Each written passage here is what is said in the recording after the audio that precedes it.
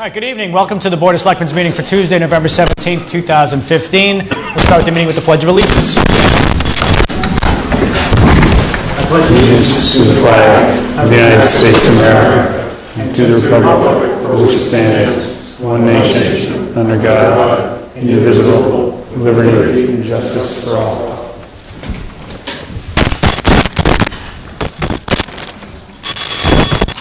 We are reopening the public session of the meeting. Uh, The board previously started the evening in executive session where we discussed litigation with respect to 3440 Hayden Rowe Street and conducted strategy sessions uh, for negotiations with non-union personnel, specifically the town manager. As we always do, we'll start the meeting off with a public session and a public forum. The residents are invited to share ideas, opinions, or ask questions regarding town government. Do we have anyone who'd like to speak at the public forum today?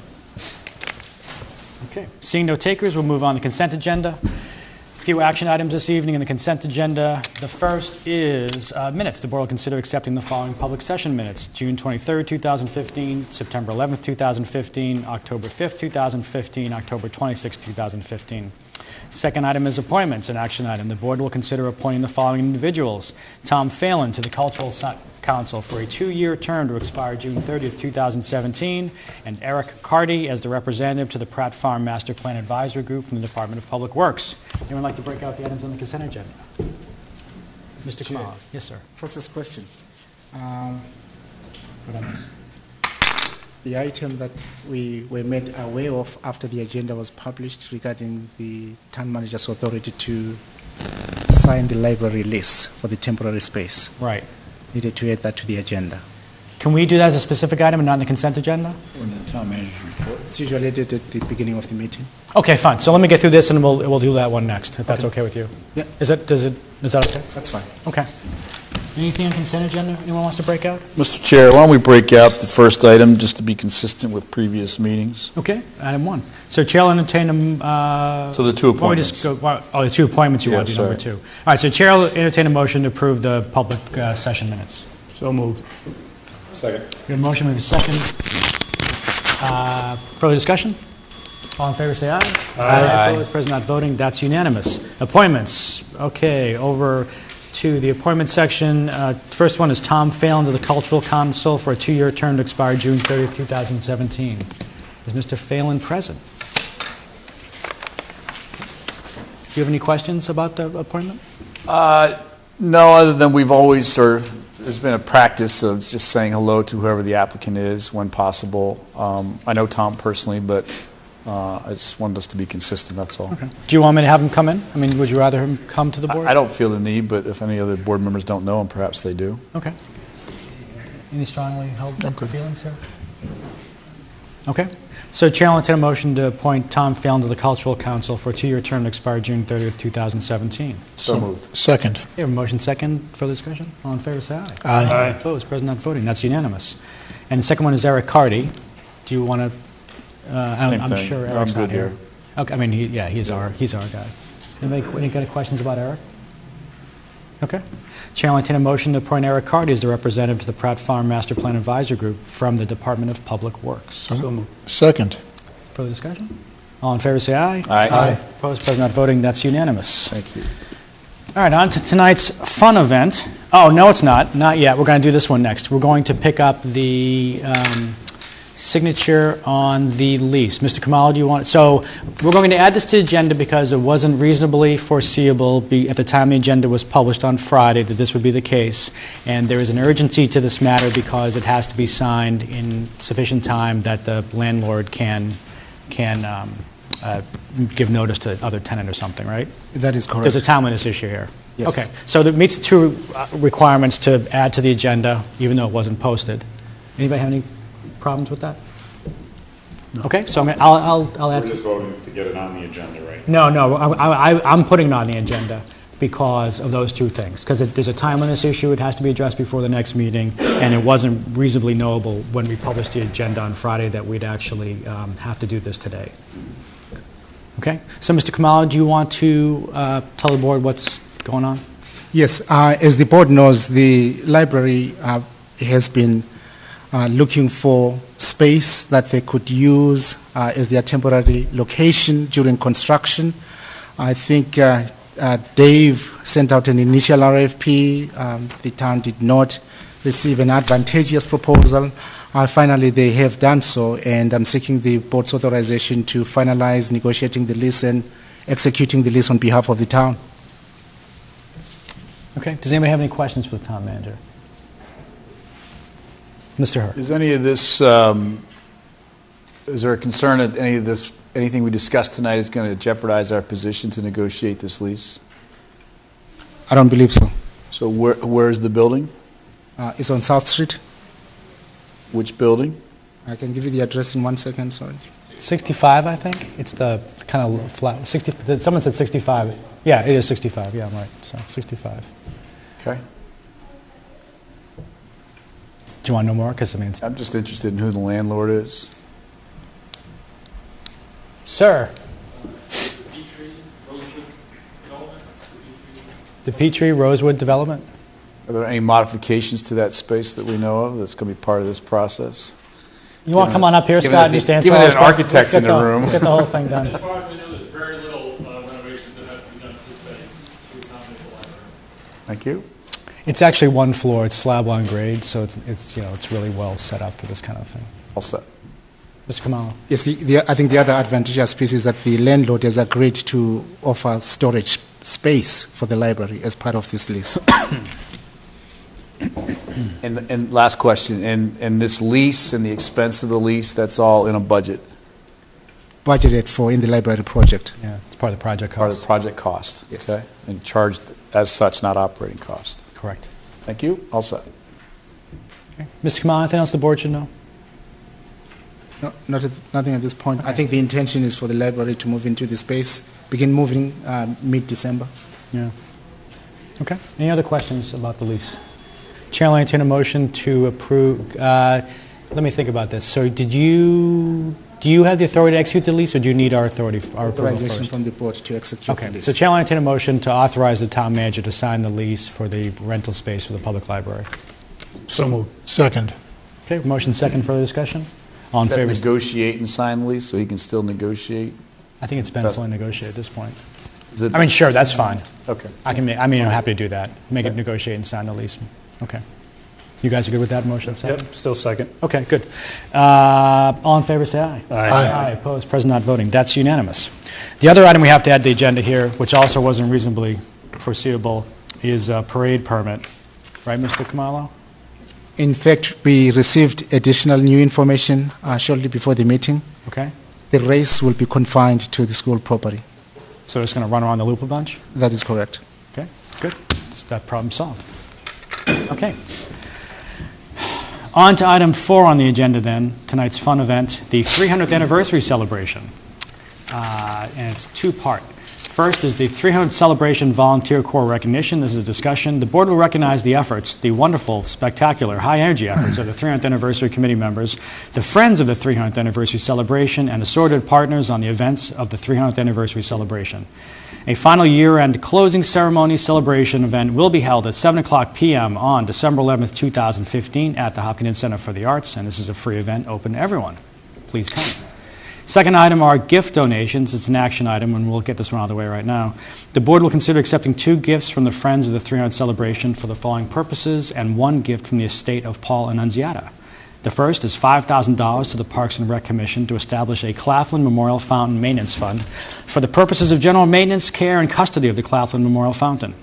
The second gift is $5,000 to the Historical Commission to establish a train depot maintenance fund for the purposes of general maintenance, care, and custody of the train depot. And the third is $10,000 from Paul Annunziata's estate to be donated toward the restoration of the Claflin Memorial Fountain on the town common. Actually, before I do that, uh, Friends of the 300, would you like to come up and talk about these gifts at all? Or, or there we go. You, you deserve this. Let's do it. Okay. Hi, Ann Click, Yep. uh, one of the Friends of Hopkinton celebrations. Um, I have a statement, and then I'm going to ask uh, all of the friends that are here tonight to stand, because they deserve a lot of recognition, okay? Uh, We, the Friends of Hopkinton, want to thank the residents and, no, and former residents of Hopkinton for purchasing anniversary merchandise and participating in our bottle drop offs. Through the response to both, we were able to financially help with the anniversary parade as well as organize and run it. The Friends now want to donate to the maintenance of the train depot and the train and the town fountain. Please accept our donations of $5,000 for the maintenance of each to be spent under the direction of the Historical Commission for the Train Depot and Parks and Recreation for the town fountain. We've been told by the town manager's office that a special, that special accounts have been set up for each, and residents may contribute to the maintenance of these town properties. So going forward, these aren't closed situations. This is something that people can consider on their own to contribute to as well. Now, I would like to introduce the people who are, uh, who have for the last three and a half years worked towards uh, the goal of raising funds for the anniversary. Annie Marcy, Joanne Phipps, Marie Colton, Liz Edwards, Dale Kalala, Joan Sullivan, Judy Coffey, Pat Lynch, Sandy and Rick Salfaro, Janice and Kip Robinson, Diane and Joe Regan, John Gardner, Russ Grieve, Dave Nelson, Bill Hamilton, and Paul Witcher. I'd like my group to stand.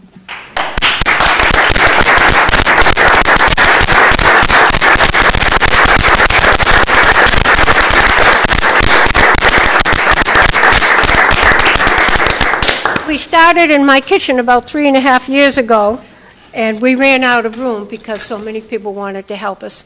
And our, one of our first members, uh, Sandy, said, well, we're going to do this and we're going to have fun doing it. And we did it, and we had a lot of fun. Thank you all.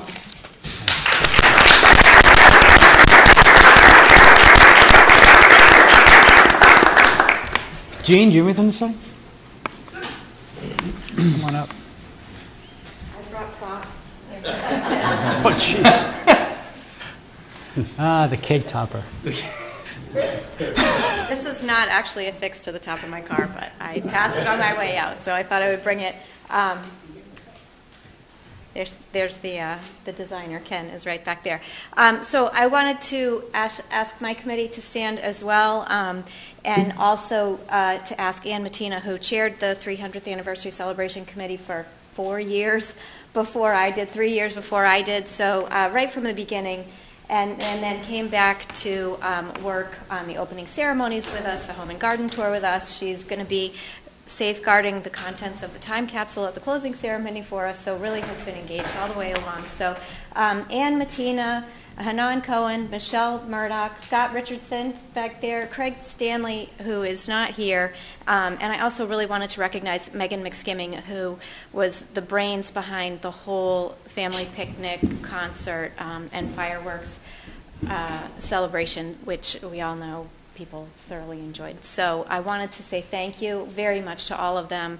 Um, tremendous amount of time, um, patience, uh, creativity, just uh, outstanding. I don't know how we would have done it without any one single one of them. And also, I want to really recognize Jamie Hellen, who I believe is still speaking to me. I've interrupted pretty much every lunch he's eaten for the last six months, dropping in with dozens of questions that I get an answer to before I even get home to check my computer again. He just, I can't say enough about what a great resource he is. He is always upbeat and happy, and um, just found a way to get everything done that we needed to get done. So it's really been an honor um, and a pleasure to work with Jamie, and our job's not over. So, uh, but but it's really been he's a tremendous asset to this office. So I wanted to say thank you for that, and I also wanted to um, remind you all that we do have two more events on on November 24th is the first Top of the Hill event, which is a new program that we're doing with the high school. Um, this is something that Josh, Josh Hanna brought here from Natick. So uh, he's starting essentially a wall of fame to honor Hopkinton High School graduates who've made a substantial contribution to their field or to their community. Um, And I, the inaugural class is uh, between eight and 10 people, I don't remember, but I will say that two of them are Tommy McIntyre and Mary Harrington, um, who both have have con- contributed a tremendous amount to to this community um, in particular. So I hope you'll come and join the celebration that evening. And then, of course, on December 11th, we will have our closing ceremony where we will present the time capsule, we will present um, a commemorative quilt, another granite marker, um, some ver, some photos, hopefully, what? Dessert. Yes, so it's a dessert bar, you can decorate your own cookies or cupcakes, you have to let the kids go first. There'll be a chocolate fountain in honor of our Claflin fountain, which all of us uh, will remember as one of the, the greatest and most lasting um, gifts that, that the town has received this, this year. Um, Help me out, anything else? Well, I just wanted to, before you step down, I just wanted to say, we couldn't have done this really without Gene organizing us all, harassing us weekly, Harassing. sometimes daily, uh, to get it all done. So Gene, thank you for your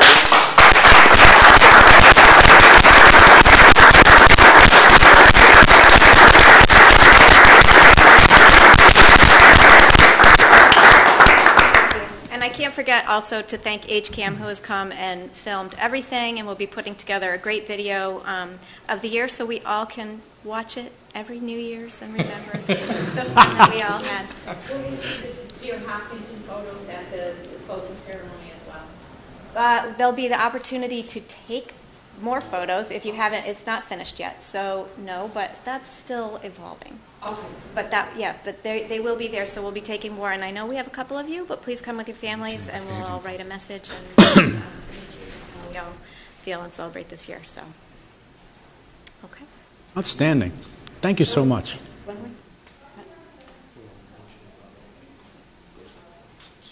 Oh, will you come up and say thank you to all the people, you know more about the parade. So Paul, can, Paul chaired the Do parade you have anything- committee. do you have anything to say? Hi, Paul Witcher. I just wanted to thank all of the residents. If everybody watched that parade, saw the output that the community did to have 19 floats in that parade. And we want to thank all the residents who did that, as, of course, well as all the town bodies that helped out with the parade. So we just wanted to thank all the people who put floats in the parade. It was really outstanding. Thank you.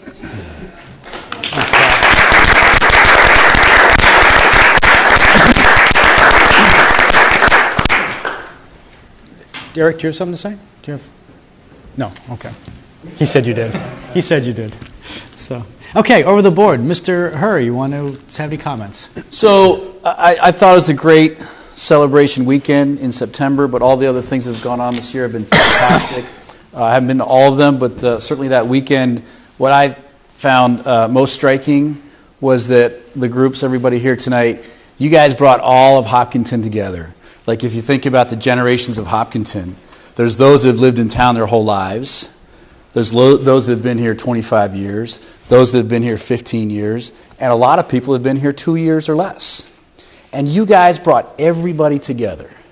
And that's what was really most striking to me, and I think uh, created a memory for all of us that will last a lifetime. I really thought there was a great sense of community that was created that weekend, or brought back, or however you want to think about it.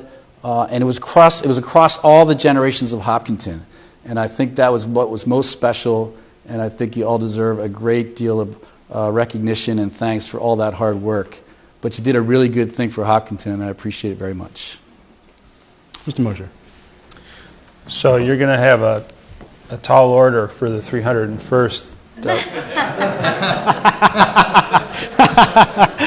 I just want to say thank you because when this project was first talked about, I, I couldn't envision what this was going to turn out like.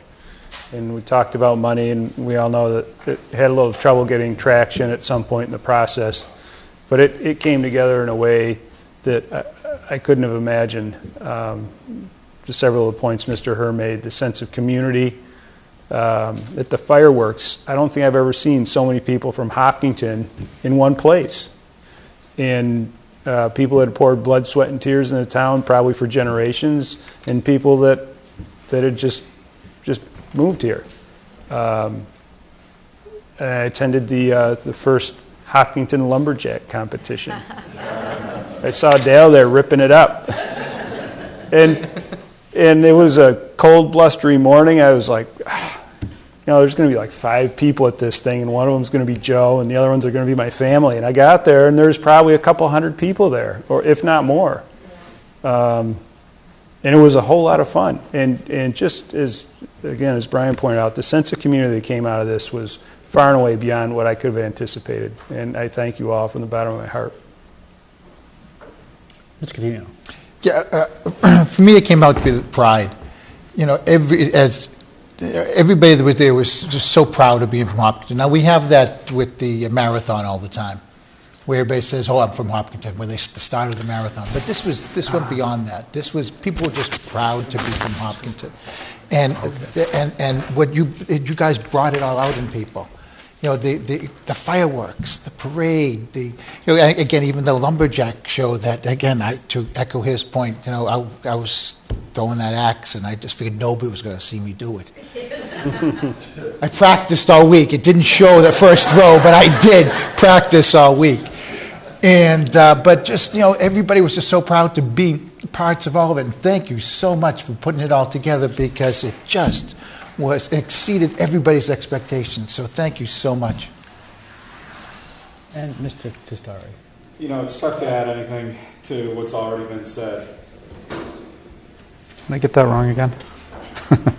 It's tough to add anything uh, additional to what's already been said, but, you know, what a year. Um, You know, all of the events. I I can, I can still remember the meeting back six years or so ago when we were saying, you know, we're going to have our 300th coming up. You know, this is something we need to plan for. We need to make sure that we have a good war chest so that we can, you know, have a great celebration and, and uh, really make people proud.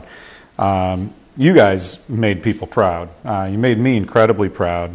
Uh, each each of the events that I went to, and, and of course now I wish I had gone to more because each one exceeded my expectations.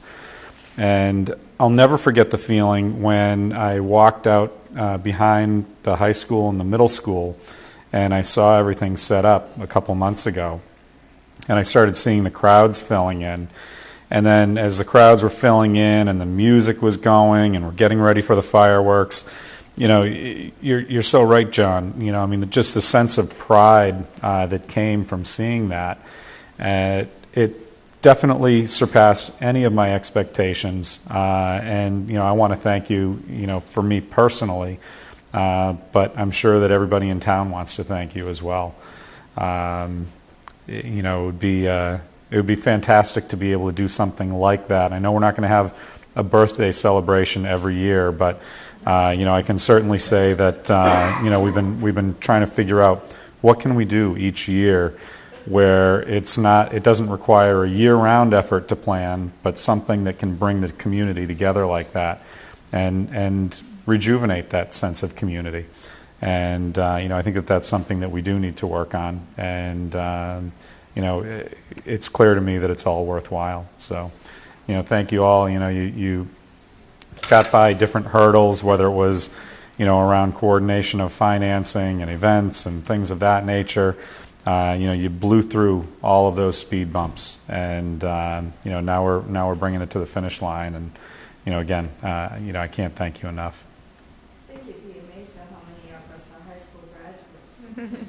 Oh yeah. Uh, Sure. So, yeah, and so from my side, thank you all very much. You made it a great, fun year to be in town. You made us all proud to live in Hopkinton. Uh, We can't possibly thank you enough for what you gave to the community. It's been wonderful. And we're looking forward to a really fun party on the 11th. So, Well, thank you all very much for your support, and if I can say one final thank you, I was remiss in not mentioning Kenny Clark, because I can tell you, I would never have gone forward with fireworks if Kenny Clark had not thrown his full support behind it and helped us navigate that process, and I think all of us here would agree that the only reason that we had that uh, is because of his leadership, and so I think that was sort of his parting gift to the town as he retires this year, too. So I I wanted to really acknowledge that and thank him, um, and thank all of you for your support, financial and otherwise, and uh, I look forward to seeing you December 11th. So before they run off, uh, a little bit of business, if I could, please. So I heard Gene mention another marker, granite marker. Mhm. Can you elaborate what? Um, We had planned, uh, you know, in, uh, as you walk into the town hall, there's a round piece of granite in the sidewalk. Sure. Um, And so we had planned to do one there that is similar to the one that we put in the center of the gazebo. Um, And um, due to an injury, that one got delayed, so it is coming, and we'll probably, Okay. I'll let you lift it. I'll present it to you at the, uh, at the closing ceremony. Uh, They're very heavy, but, so, so that's coming, and some other gifts that will, that I'm sure you'd be happy to receive uh, at the closing. Yeah, that sounds great. Thanks. Excellent. I don't know how we get a picture, Mike. We can try it, but you want to try it? All right. We have a, okay. Yeah, we're going to. Don't worry. I got it. I won't forget. I never forget the money. Former town clerk wants done right. I never, I never forget the money. Don't worry about that part. um, but, yeah. Oh, yeah. I do. Tell us again how many cans. It was twelve thousand dollars at twenty cans for a buck, a quarter million cans, right? What? Twenty cans. Um, how many cans? Well, it's over 165,000 cans and bottles. Wow. Incredible. All right. All right, because I don't want to make Ann stressed on her big night, we'll accept the gifts and then we'll do the picture. So the, uh, the chair will entertain a motion to accept the following gifts. $5,000 from the 300, cele- uh, uh, hold it, Friends of the 300th cele- anniversary celebration to the Parks and Rec Commission to establish a Claflin Memorial Fountain Maintenance Fund.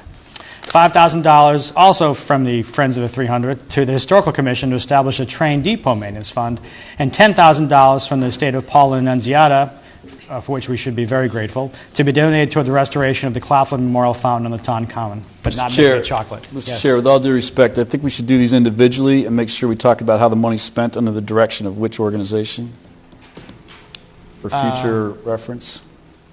Okay. In other words, that first one for the Claflin Memorial Fountain to be spent under the direction of the Hopkinton Parks and Recreation Commission.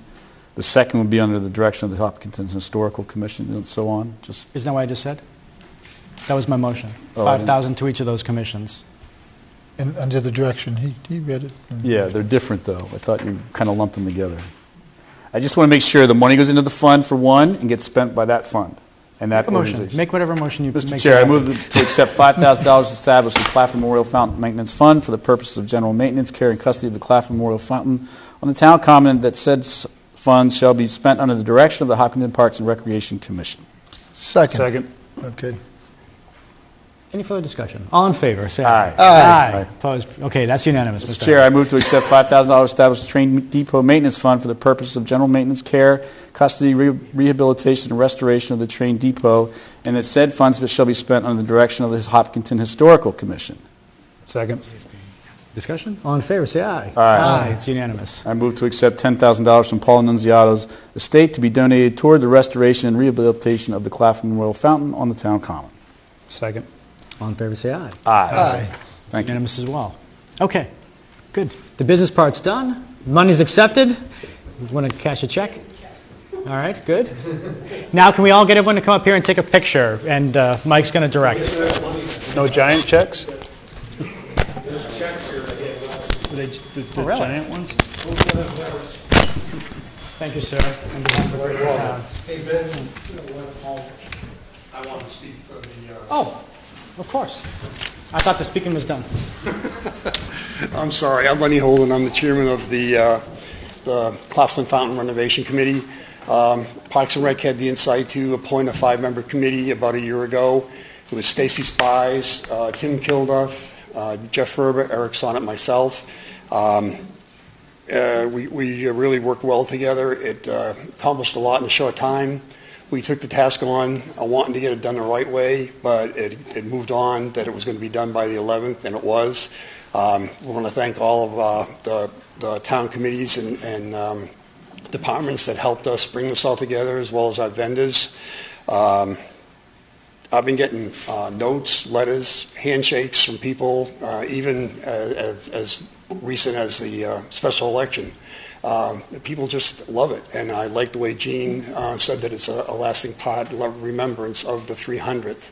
And to top to top it off, finish us off, we do have a check from uh, Paul Annunziata's Revocable Trust for $10,000, and I'd like to give that to you today. Thank you. Thank you so much.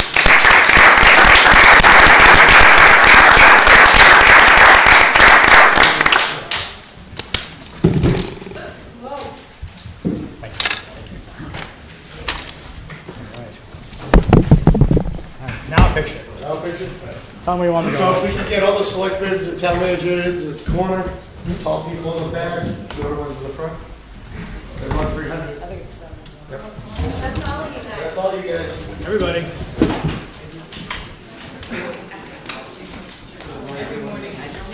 Put it right on the table right there. Put it right in front of you. I'll sit behind the rest of the night. Um,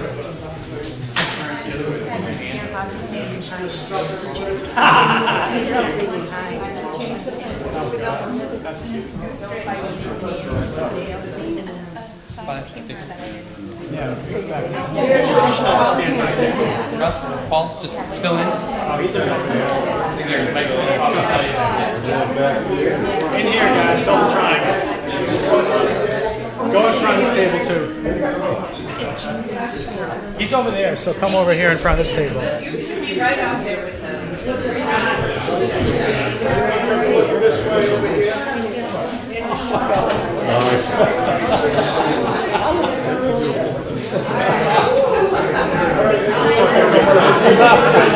That's so busy,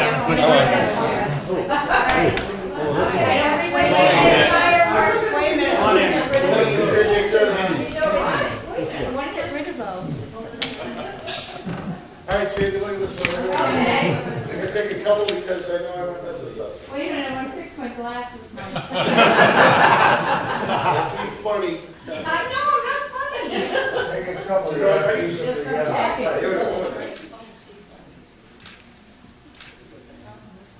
Thanks, man. Excellent. Thank you. Thank you all. Thank you all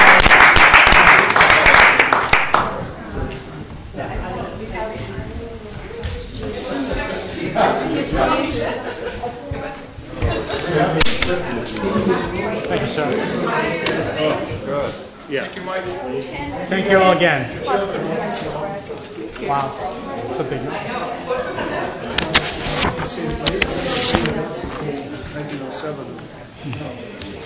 They've been big too. Yeah, no kidding. Take the checks.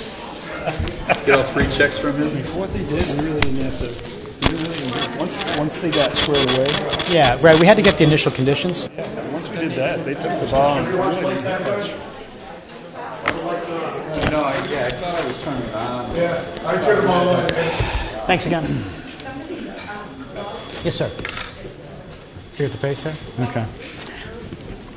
All right, next item on the agenda, we lost, somewhere we lost a town manager in the crush. He's pressing the flesh. We don't, we don't need no stinking town All right, manager. this go even faster now. Item five on the agenda, staff appointment. This is an action item. The board will affirm the following staff appointment by the town manager, should he return to the room. One, the Land Use Planning and Permitting Department Administrative Assistant. So they're all out in the hall there. I could do my best to give her a flowery introduction. Oh, did you meet her? Yeah. Oh, land use. Mr. Khumalo, we're doing item five now, the Land Use Planning and Permitting Department Administrative Assistant. Yeah, she managed to come in. Okay. Um, I respectfully present Jennifer DeLuca um, for consideration as the town's administrative assistant in the land use department. Uh, as I've been saying um, over the last, I think, 18 months, uh, we have put an emphasis in our hiring process to bring in people who are committed to public service and most importantly, people who also have experience in the private sector. I am happy to say that Jennifer has five years municipal experience. Uh, she also has private sector experience, especially in customer service. Uh, the references that we spoke to uh, regarding her uh, strengths as well as uh, her performance in customer service told us the following that she is professional, dependable, detail oriented. Uh, in fact, her supervisor did not want her to leave. Uh, it was also confirmed to us that she is honest, trustworthy, hardworking, and is a lifelong learner. I have seen her already at work upstairs, and I think she fits in very well with the team. Thank you, Mr. Khumalo. With that, over to Elaine. You want to do the introduction, or? Hello? No? Jennifer has Okay. been with us a little over a week now, and uh, she'll It's be... third week. Third week, okay, time flies. And um, among other duties, she'll be handling the Community Preservation Committee as well. Jennifer, welcome. Thank Thank you for coming in tonight. To say anything, introduce yourself to the board? Um, Jennifer DeLuca. I actually did grow up in this town, so it's kind of nice to be working here.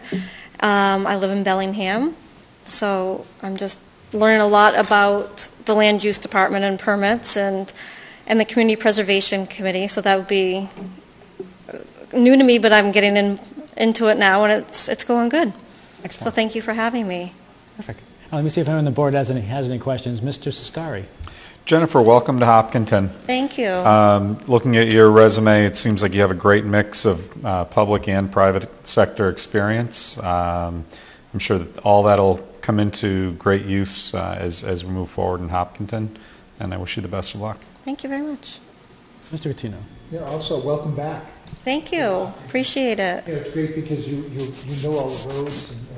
Well, no, not all of them. There's been a lot that's changed Yeah, since there's, yeah, I've there's been some new here. ones and Yeah. everything else, but, uh, you're welcome back uh, at the, uh, the Land Use and Planning Department. It's near and dear to my heart, so very welcome, thank you for, Oh. Thank for you. coming in.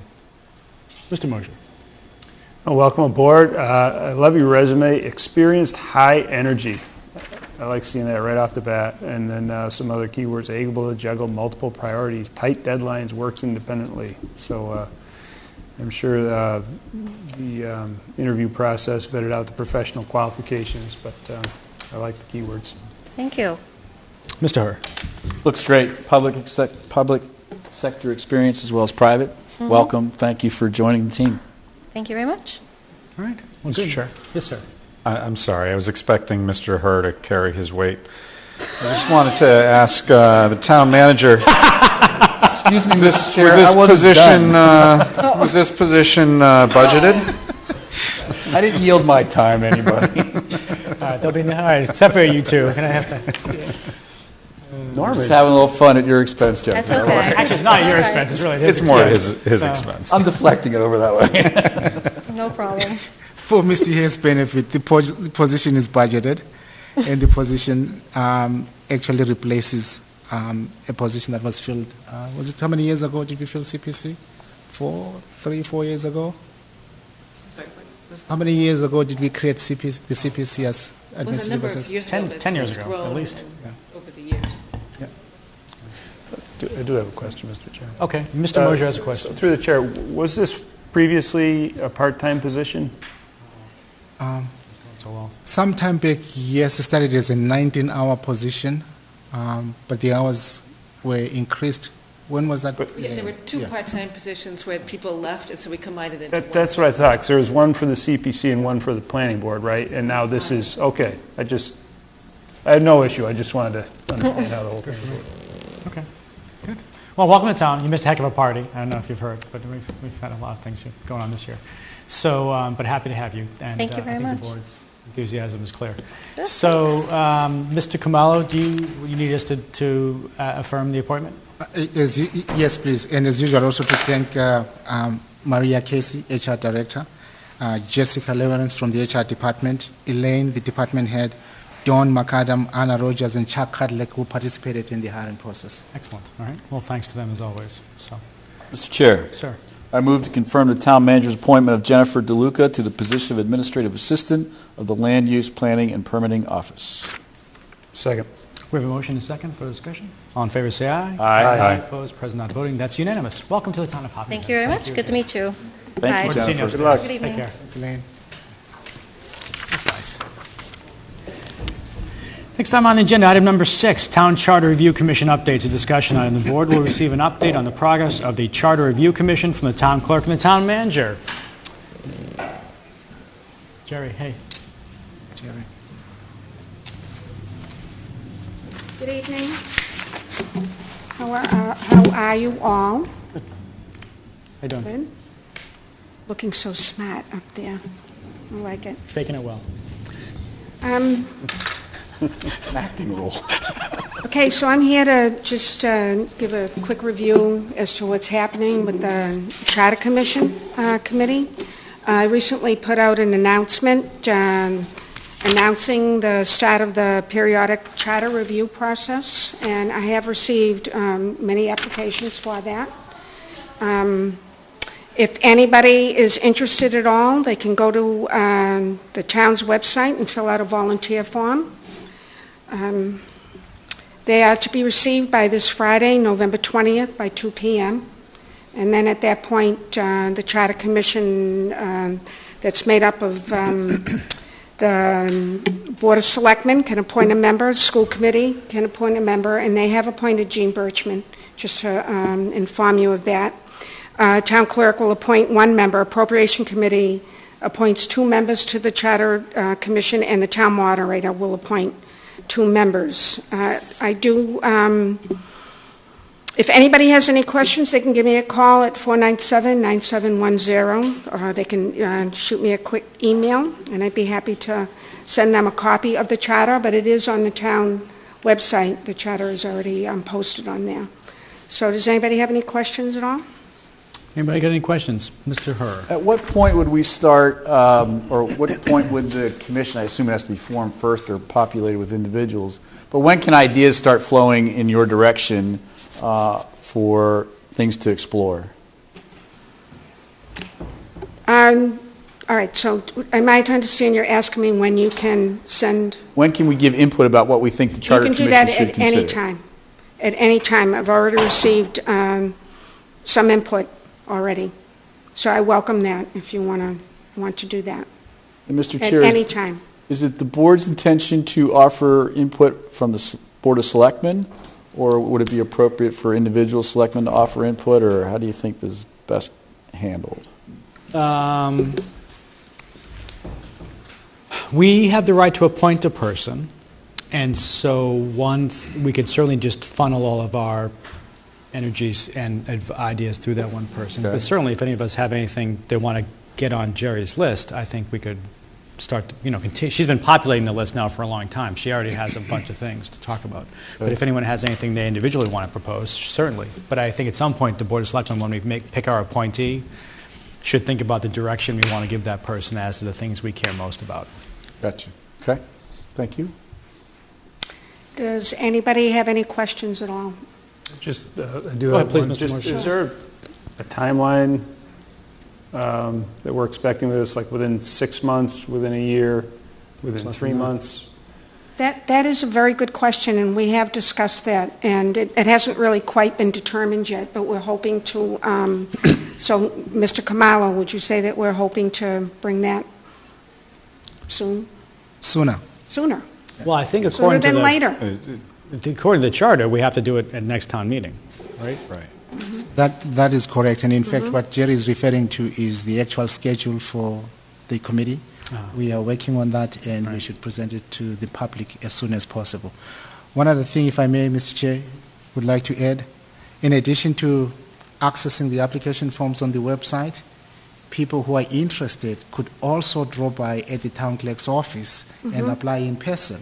Yes. And those who need additional assistance can call the town clerk's office, and the staff will be willing to walk them through the application. Yes, I, I have been meeting with uh, um, some residents already, and um, there will be a public hearing to provide opportunity to voice their, anybody can do that, to voice an opinion about this. And I'd be happy to provide you with, at some point, some of the questions that have been asked of me. So uh, I don't know if I should do that right now, but I can forward that along with, to you. So- Okay. But, but- so, the- but the recommendations of this committee would be voted on at this year's annual town meeting? I'm sorry, John? The new charter, the revised charter will be voted. I didn't, I'm sorry, was there a question? The, the revised charter would be for this year's annual town meeting. hmm I believe so, All right, thank you. right? Thank you, Norman. And then that's subject to the legislature adopting it. Correct? Uh, No, I- do they have to? I think we just have to, I think they've already let us do home rule. I think we just have to adopt- revise the charter. Am I right? Or how does it work? Does the legislature have any say in this? Town meeting and the election process. Okay. That's it? Okay. Good. Anything at this end? Once Um, I, once I um, create, I have started to create a schedule and be happy to forward it to the board. Okay? So, so the deadline for people applying for positions is this Friday, the Mhm. 20th. 2 PM. Um, So I would anticipate that pretty soon after that, meetings are going to Absolutely. start. I have a, something going on right now. So without, be very without our, without our uh, being in the uh, agenda item for future agenda items, Mhm. Um, I I would think that at our next meeting, our board needs to pick our representative. Um, And then it's probably going to be a pretty aggressive timeline to get all of this Yes. You're too busy. moving and, and have some public forums and get it completed by town meeting. Right You- You've got it, that's it. It will be aggressive, and we'll go quickly with that. Right. Okay? All right. Okay. You have something, John? No, that's, Other that- that- mine was all or- on timeline myself. I welcome anything, if you want to give me a call, or be happy to speak with you about that. Thanks, Jerry. I just was, I just think we need to really make sure we reinforce, this is a critical committee, right? I mean, it's, there's very things that, we need to make sure we get it out. Hopefully someone from the press will pay, will pay attention tonight, that this committee runs for a fairly short time, but influences how the town runs for the next 10 years. Because what they, what they, what's in the charter defines every single interaction we have in the community. So I think what we need to understand is we don't need people who have a lot of experience necessarily in town government, but we need folks who are really willing to come together, think, work hard about this charter, th- work hard to sort of revise this charter, and, and really help us make sure that we set the community up to run optimally. There's been a fair number of things people have complained about in the last 10 years. Mm-hmm. This is the time to start fixing all that. So, it's just to Chair. reinforce, this is, this is a crucial, there's probably no committee more important in the short term than this committee. Mr. Herr. As part of the official process, are we reaching out to all the duly elected board chairs as well as department heads and asking for their Mhm. direct input into the charter review process? Well, again, the, the committee decides what they do, but Jerry has laid out a scope of activities that will be performed by them. So, right, so what, how, how they want to go about this is sort of their own thing. Um, uh, But, and also, don't forget, the, the folks that appoint, that have appointing authority, uh, can also give some direction. So Jerry appoints two, right, town moderator appoints two, appropriations appoints, Mhm. no, town moderator appoints one, to appropriations appoints two, so that, you know, there's people who have, who can sort of um, frame this the way they Think want. about all that you're describing and the various players we're going to pull together and the holidays. I mean, we are up against it to get this thing codified and massaged in a way that's Yes. presentable and within MGL and everything else Yeah. for a May town meeting. Amen. It's pretty aggressive. It is. Okay. Anything else, Jerry? Yeah, I welcome any, I would be willing to meet with anybody if they want, if they have any questions whatsoever out to the public, to just give me a call. I'd be happy to, to describe what, what the process is, okay? Including the board members, all right? Thank you, Jerry. Okay, no, thank you very much. Thanks for Have a good evening. Item seven on the agenda, Fire Chief Hiring Process Update Action Discussion Item. The board will receive an update on the progress of the Fire Chief hiring process from the Chair of the Fire Chief Hiring Committee. And I assume that's you, Bob? Yes, sir. Welcome. Thank you. Thanks for coming in tonight. Good evening, everyone. Bob Levinson, the Chair of the Personnel Committee and Chair of the uh, Fire Chief Search Committee, and want to give you an update, answer any questions. Okay. Um, Representing the committee, composed of uh, Mr. Mosier, Mr. Khumalo, Ms. Casey, uh, Christopher LeClaire, who's the Chief of the uh, Newburyport Fire Department. Uh, I'd like to publicly thank him for his time, long drive, and his input was invaluable. So Hopkinton owes him a debt. Much appreciated. Uh, The guiding principles of the committee were uh, transparency and thoroughness. We wanted to act with speed, but not sacrifice quality for the position. Uh, The goal was to get the best candidate, uh, not only qualified to do the job, but one who'd fit in Hopkinton. Uh, The search uh, was started, we developed a hiring profile and hiring criteria, we posted the position, and after a period, we, uh, cl- period closed, we received 18 applications, nine in-state, nine out-of-state. Uh, And uh, we did a thorough screening of the candidates, and uh, we did that independently, and we were in consensus on seven candidates that we wanted to ask back for first-round interviews. Friday before, then November 9th was the, uh, were the interviews, and the Friday before, one candidate withdrew, and the morning of the interviews that Monday, another candidate withdrew. So we had five very thorough interviews, uh, including three questions that were based on input that we received directly from the Hopkinton Fire Department. And uh, as a result of the interviews, there was- clear consensus among the committee that we had uh, two strong candidates who can do the job. And our, our first choice is uh, Deputy Chief Steve Slaman. And uh, our second choice is uh, Framingham Chief Gary Doherty. Okay. Questions? Thank you for that. Uh, Over to the board for questions. Mr. Catino. Um, So um, what's the, what do we have for a timeline to continue? Are we going to uh, hit, hit our date? Uh, What's the, what are the next steps? That's really um, up to you. Uh, We said we'd have a candidate on board. The goal was uh, by the time of uh, Kenny's retirement in January. There doesn't seem to be any problem with that. The next, the, uh, the decision would be on, you want to interview the candidates, um, or if, you know, your, rec- uh, that's our recommendation, take our recommendation, interview them.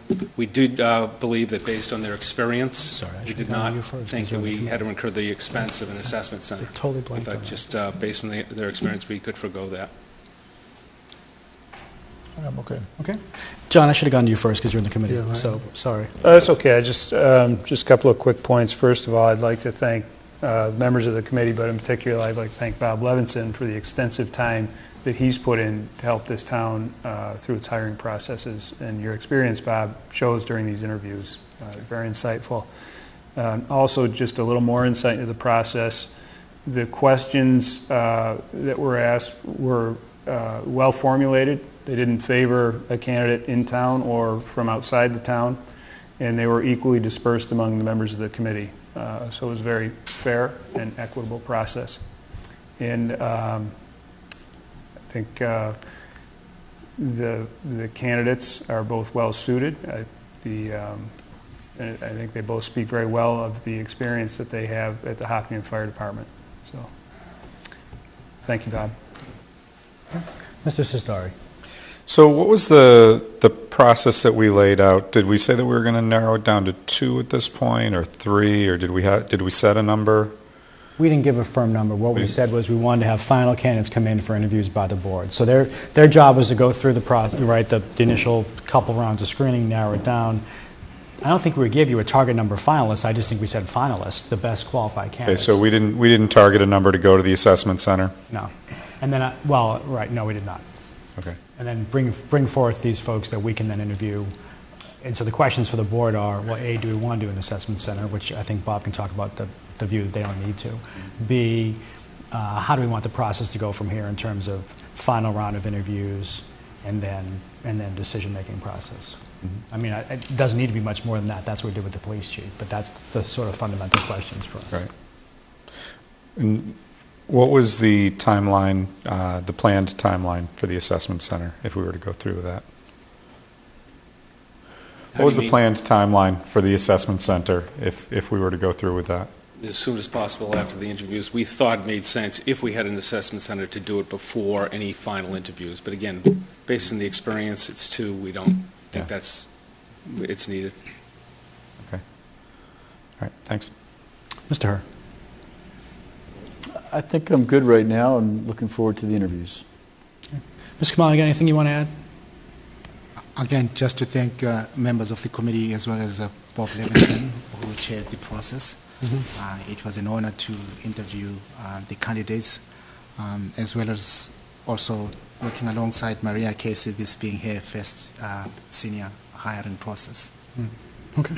So Bob, thank you from everyone for the, for the great work. You, you've done this multiple times now, it's been fabulous, so we, we thank you very, very much. You're welcome, happy to get back. Um, You'll have a a hard time, like uh, with uh, Yeah. previous processes, I think that shows the process works. Mr. Chair, I'd- I'd just like to ask uh, one more question. What, um, what types of shortcomings uh, of the other three candidates were you witnessing that you didn't feel they were worth uh, being moved forward? Very good question. Uh, It was, I think, it was not only, I guess, the, the presentation that day, and you're not going to, you're not going to do your final decision just based on the interview, because they're not professional interviewers, but are they able to articulate what we're looking for, and they weren't able to, and we didn't think it had the depth of experience. Also, it spoke to uh, not so much what they couldn't do, but what we think that these two candidates can do. Clearly, both of them can do the job, and one of them has done it. Um, So it was more that than what the others couldn't. Thanks. So the question over now to the board is how do we want to go forth, right? So we have two proposals coming forth from them. The question is, do we want to proceed? uh, I'm just going to lay this out in sort of a neutral fashion. We can accept those candidates, move forward and then into some process to try to to make a decision on hiring. We could obviously say, we want to redo the process, right? If, if that was the board's decision, we can just sort of say, go back to square one. Um, uh, If we go back to square one, we just, that's fairly clear cut. If we don't go back to square one, then the question is, does the board want to have an assessment center done to evaluate the candidates? Um, And then how's the board want to go forth with the final stages? And it's, given that's down to, to two recommendations, and again, we could also say we want to see more, but it, the question is, um, the, the thought at least is that we'd have final interviews before the next board meeting, just like we did for the police chiefs, right?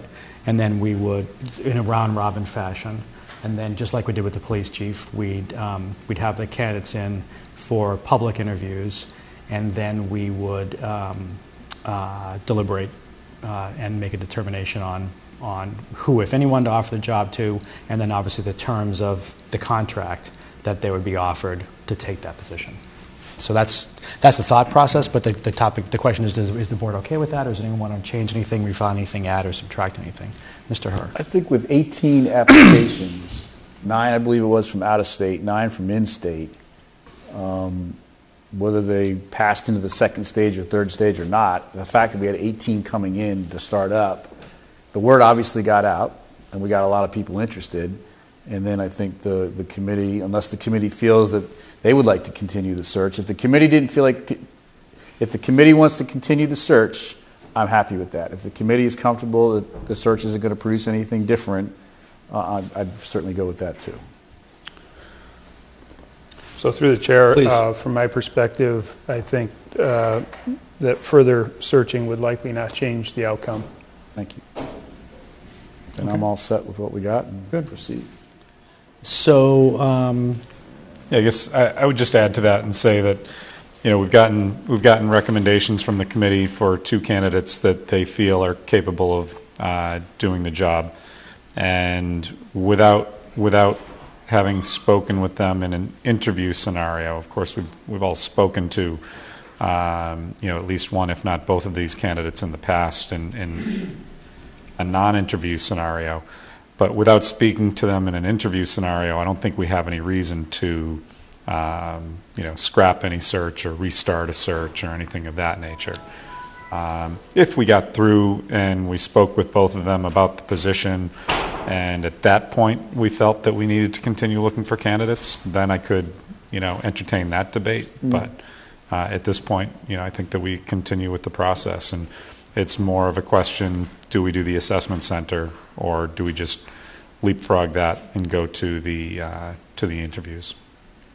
okay. Do you have any strong feelings uh, either way on the assessment center?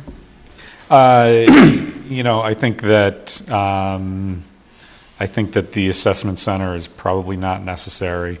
Uh, You know, we have, we have one person that we have experience with in this position, and another uh, person that we have experience with. Uh, So I don't, I don't feel that the assessment center is necessary. Does anybody feel differently about the assessment center? Anybody? No, I would agree with Mr. Cestari's sta- uh, statement. Uh, One candidate is, is clearly proven uh, his ability to do, to do the job by doing it, and doing it in more than one town. Uh, The other candidate is, is extremely well qua- uh, qualified. Uh, My experience with the assessment centers leads me to believe that, that it really wouldn't tell us very much. Okay. Right, so hearing no desire, go ahead. Just, yeah, so to the chair, yeah, I just, I'm just glad that, that we had uh, 18, 9, and 9, because, um, you know, having it uh, come down to two people associated with Hopkinton, I didn't want it to look like it was a, it was an inside move from the beginning.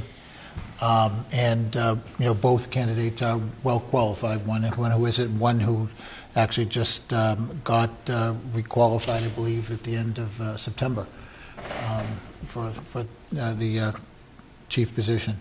So um, I'm, I'm comfortable at this point. Okay. So I think what I'm hearing is no desire for an assessment center.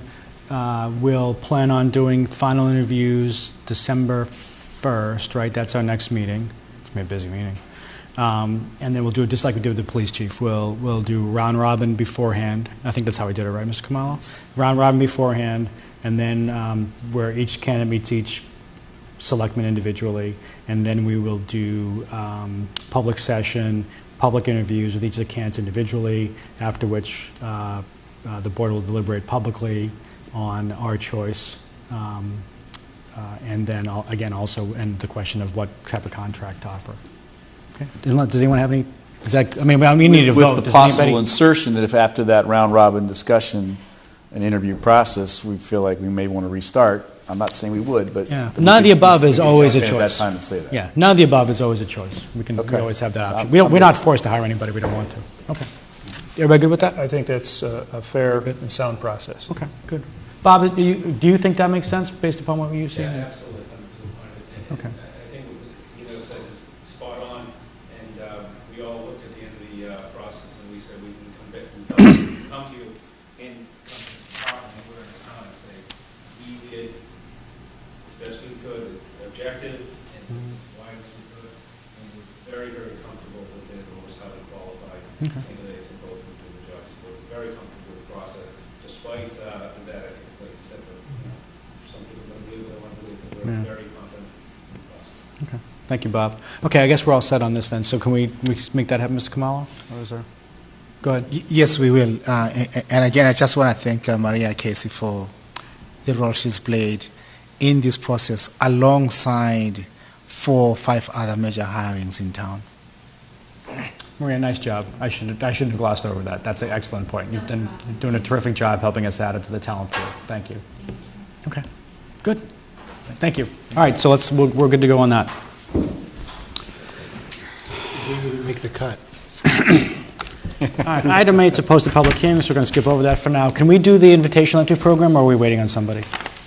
No, we're good? All right, so item nine is the Boston Marathon Invitational Entry Program. An action item, the board will consider approving the application schedule for the 2016 Boston Marathon Invitational Entry Lottery process. So again, as we've, as we've established, and I really like this policy, we, um, we let nonprofits, uh, primarily within the town of Hopkinton, uh, submit applications each year to get some of the, um, the invitational entries that we are provided by the Boston Marathon. The question is always how many they're going to give us. Um, And, uh, and what we do is we will then hold a, just a, uh, a 300th anniversary level uh, event where we'll, we'll give out these invitational entries to, um, to applicants upon some process we'll determine later on. So, Mr. Khumalo, what should the board know about how this process differs compared to years past? Um, At this point, I I think everything we're doing is similar to the process uh, from last year. Uh, The number of invitational entries uh, extended to the town by the BAA is the same as last year. We're at 50. We continue to ask for more. Uh, I think the key is the board can decide either to go with option one and two, or just pick one of the two options, namely organizations undertaking public service activities for the benefit of the town of Hopkinton, or organizations undertaking public service activities within and for the benefit of the town of Hopkinton. Right. I think the second one should be first, but that's okay. So, okay. And I also want to point out, we have a marathon, a uh, Town of Hopkinton policy for all town departments related to the Boston Marathon, which I think is a very good thing to have. So, um, uh, which directs the fact that all these things should be coming to the town, not to departments or individuals or anything else. So I, I assume we'll promulgate, promulgate that widely. Yes, uh, I think it's important to emphasize the policy and also to share with the public that this very process uh, is being undertaken uh, within the provisions of that policy. Um, and Mr. Chair, you had asked earlier whether there were any differences between last year and, and this year's process. I, I, I omitted to mention that uh, we are proposing that the, the face value of the invitational entries be pegged at 5,000 instead of 4,500. Yeah. And this is based on the income that the town, is, the different agencies or organizations received and, and reported to the town last year. Right, okay. And because we track that, I assume we're going to start holding people accountable who haven't raised money. Unfortunately, that's going to work to their detriment, groups that can't raise funding. But I don't think we've had that problem the last couple of years. We have not. Um, one other th- point of discussion we have had with the uh, BAA is also providing institutional support to some of the new organizations in town in terms of how they conduct the fundraising. Mhm. Terrific. Okay, over the board for questions. Mr. Mosier. Uh, So through the chair, not wanting to miss an opportunity at our annual chance for the board to poke fun at itself, um, I just wanted to look at our policy, um, item two, allocation of invitational applications, going down to D, organizations undertaking public service activities within the Commonwealth of Massachusetts. I just want to make sure we're all on board with that. I remember some discussion, I think it was last year, there was some out-of-state organizations that had applied, and we had some on-the-fly debate about that. And I just want to make sure that we're good with, with something outside the borders of Hopkinton, within the borders of the state. If, if I may, um, I think the intent in the overall policy is to lay the four corners, lay out the four corners, and the policy also says each and every year the board can decide uh, which organizations to pick from Right. within those four options. I mean, I'm, I'm really fine with taking it out, but I also think we just sort of allocate how. I'm fine with it, I just wanted to make sure everybody was aware of it, so that come the day when we actually allocate them, we're Right, not no surprised. surprises. Mr. Hart, questions, All comments? set for now, thank you. Mr. Cestari? You know, I think we nailed it last year. Um, I just have one question. What was the, what was the average uh, fundraising uh, per, per bid last year for us? We'll give you a specific number.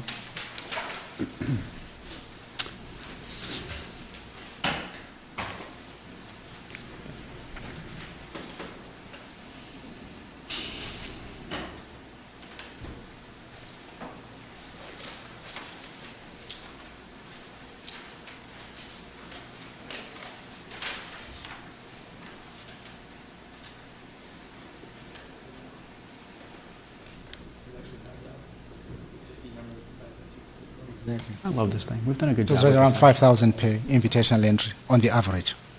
Was 5,000 on the average? Yes. Um, I guess, I guess my only thought might be um, keeping, I I know that, I know that we don't have any strict enforcement in the, fol- in the following years unless we see an extreme outlier.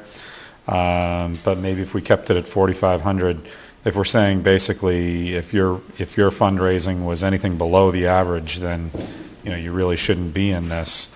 Um, I'm, you know, I'm just not sure if that's putting a little bit too much pressure to raise the bar. My only comment would be, I think there, people can raise vastly more, and I think we're just trying to frame out that, you know, raising That's two, fine. raising It's nothing I'm gonna isn't dig the my right- heels in Yeah, over, ri- but- raising $200 isn't the right answer, so, I mean, okay, anybody else? Ms. Catino? No, I'm okay. Okay, so I think we're all set with this, Mr. Khumalo. You don't, do you need anything from us on this? I'm sensing there is the consensus on the board's part that we advertise the process as we did last year. Correct. It was good last year. No changes, it all worked like a well-oiled machine last year. Good? Okay. So, we don't have to take a vote on anything, but you're, you're, feel free to get the advertisement going because we'll do this before the, at the meeting, last meeting before the end of the year, I think, at this rate. Uh, They get them in the 4th, we'll do them the, whatever it is, 15th, right? Yes. Yeah, so, okay, thank you. Uh, We still got five minutes left of the classification hearing. Mr. Khumalo, is the Main Street Corridor project update lengthy? Um, Yeah, we may need more than five Got any more in minutes. five minutes? All right, liaison reports, Mr. Herr. Liaison reports. Nothing new to report this time. Okay, Mr. Mosier. Uh, No, I pretty much covered it with the fire department, Mr. Chairman. Mr. Catino. I have nothing at this time. Mr. Cestari. Uh, The Cultural Council met uh, about two weeks ago, and I have not had a chance to um, review the minutes. I was unable to attend that night, um, but I'll give a more detailed update at our next meeting. My only report would be that Mr. Mosier and I attended the HCA Gala uh, last week uh, to celebrate the opening of the um, new building up on Hayden Rowe. It was a phenomenal event. Uh, They raised a bunch of money, an enormous amount of money they raised, actually. Great asset for the town, one, one- certainly one of the best deals we've ever made. Um, So uh, I think everyone who hasn't been, had a chance to go up there should go visit the building, because it's spectacular. Um, There, they have art shows and all going on there essentially constantly.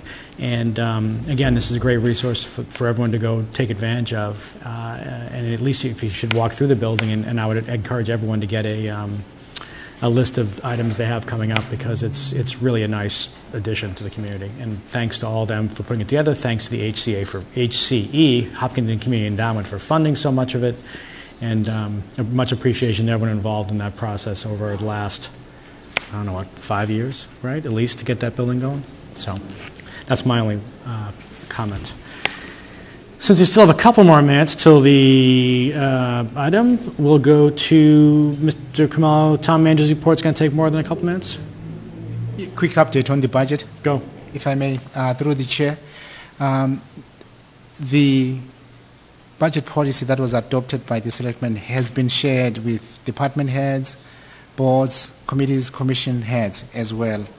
Um, We are also giving the new finance director time to settle in, and uh, as soon as, uh, uh, as early as uh, uh, early next week, we will begin putting together the detailed instructions for department heads, and also commence the one-to-one meetings with department heads should they have any questions in terms of how to process the, the budget guidelines. Um, again, the message is simple. We're looking for level-funded budgets, as the selectmen did identify. We're also continuing to ask departments to identify efficiencies, savi- savings, uh, and um, hopefully this is going to be a very productive process for everybody. Uh, we are expecting collaboration, as we have done in the past. Uh, there will be many meetings, and we are ready for that process. Okay, thank you. Anything else in your report? Um, Yes, just to share with the board also, um, we, I did successfully, uh, working with town counsel, negotiate the shared parking agreement with the um, Boston Archdiocese. Um, What that agreement does, is it provides 40 parking spaces for use by the town at St. John's Church. Uh, The fee uh, per year is $16,000. That translates to approximately 400 bucks per parking space, which is equivalent to $1 and change per day for that parking space. Uh, Cup of it's- um, It's, uh, it's, it's parking that is required um, as part of the planning board process, and at this point, uh, we're simply waiting for the finalization of the signatures from the Archdiocese in Boston. Okay. Nice job on that, Mr. Khumalo, by the way. I think, I mean, the board asked you to go off and get this done on good terms, and I think you did it on great terms, so thank you very much for that. So, um, The board doesn't have to vote that because it's a small budget lease item. Okay. Uh, The hour having arrived, we will now open a posted public hearing, a tax classification hearing. It's an action item. The board will hold a public hearing to determine the percentage of local tax levy to be borne by each class of real and personal property in accordance with Chapter 40, Section 56, as certified by the Commissioner of Revenue through the Hopkinton Board of Assessors, property assessment of full and fair cash valuation. Oral and written comments from the public will be accepted at the hearing. There's several supporting exhibits. Chair will entertain a motion to open a public hearing. So moved.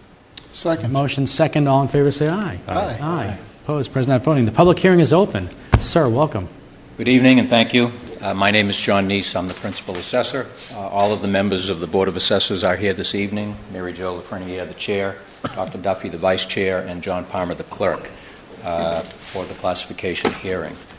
Uh, We have two parts. Uh, The board chair is going to go first and present the uh, Board of Assessors, and then I will follow that with a few graphic slides for you. Thank you. Uh, During the week, you have received a four-page letter from us uh, describing much of what I wanted to say tonight. I am just going to highlight some of it, some of it. If you want to follow along, that's fine. Uh, For the citizens, uh, people at home, or the audience. The Board of Assessors appears before the Board of Selectmen this evening to present information to assist the selectmen in making a decision in reference to property tax options.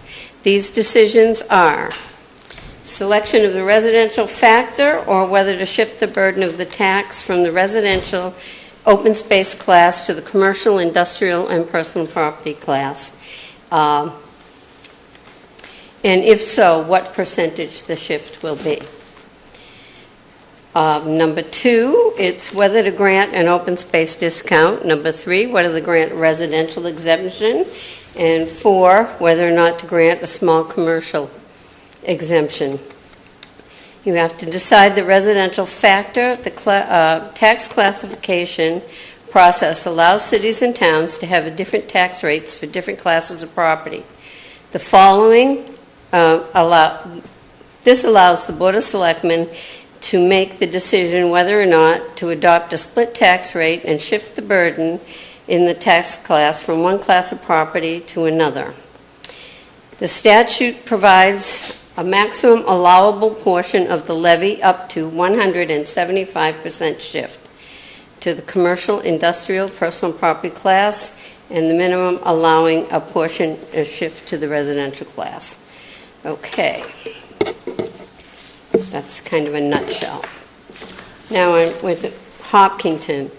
Uh, The total taxable value of the town is now three billion two hundred forty-nine thousand seven hundred and uh, million seven hundred seventy-three thousand eight hundred and four, of which eighty-three percent is residential, seventeen percent commercial. This is an unchanged percentage for the past five years. It's been the same. Uh, The average single-family home is $525,705, and compared to last year, where it was $494,684.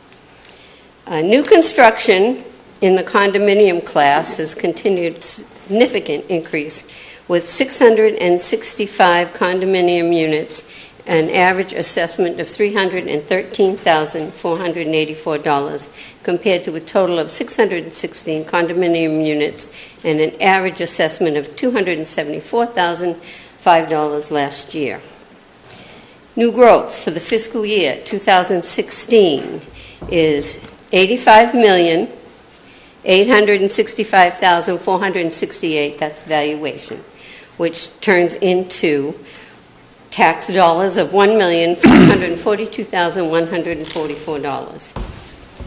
Okay, single-family growth and condominium growth as a result of 105 building permits for new single-family homes uh, and new construction of condominiums, with 877 building permits, including uh, additions, bathrooms, renovations, et cetera, which also adds to valuation. The property tax levy provides 75%, more or less, of the total revenue of the town that's required to fund its municipal services. If the town continues its prior practice of maintaining a single tax rate, the town residents can expect an average increase of less than 1% in the fiscal year 2016. Additions and renovations and other charges of property also result in further valuation increase in individually. And I'm going to stop there because you have the rest of the information, and I'm just going to say the board will be here after John Neese's PowerPoint presentation to answer any questions or give you any further information that you might require.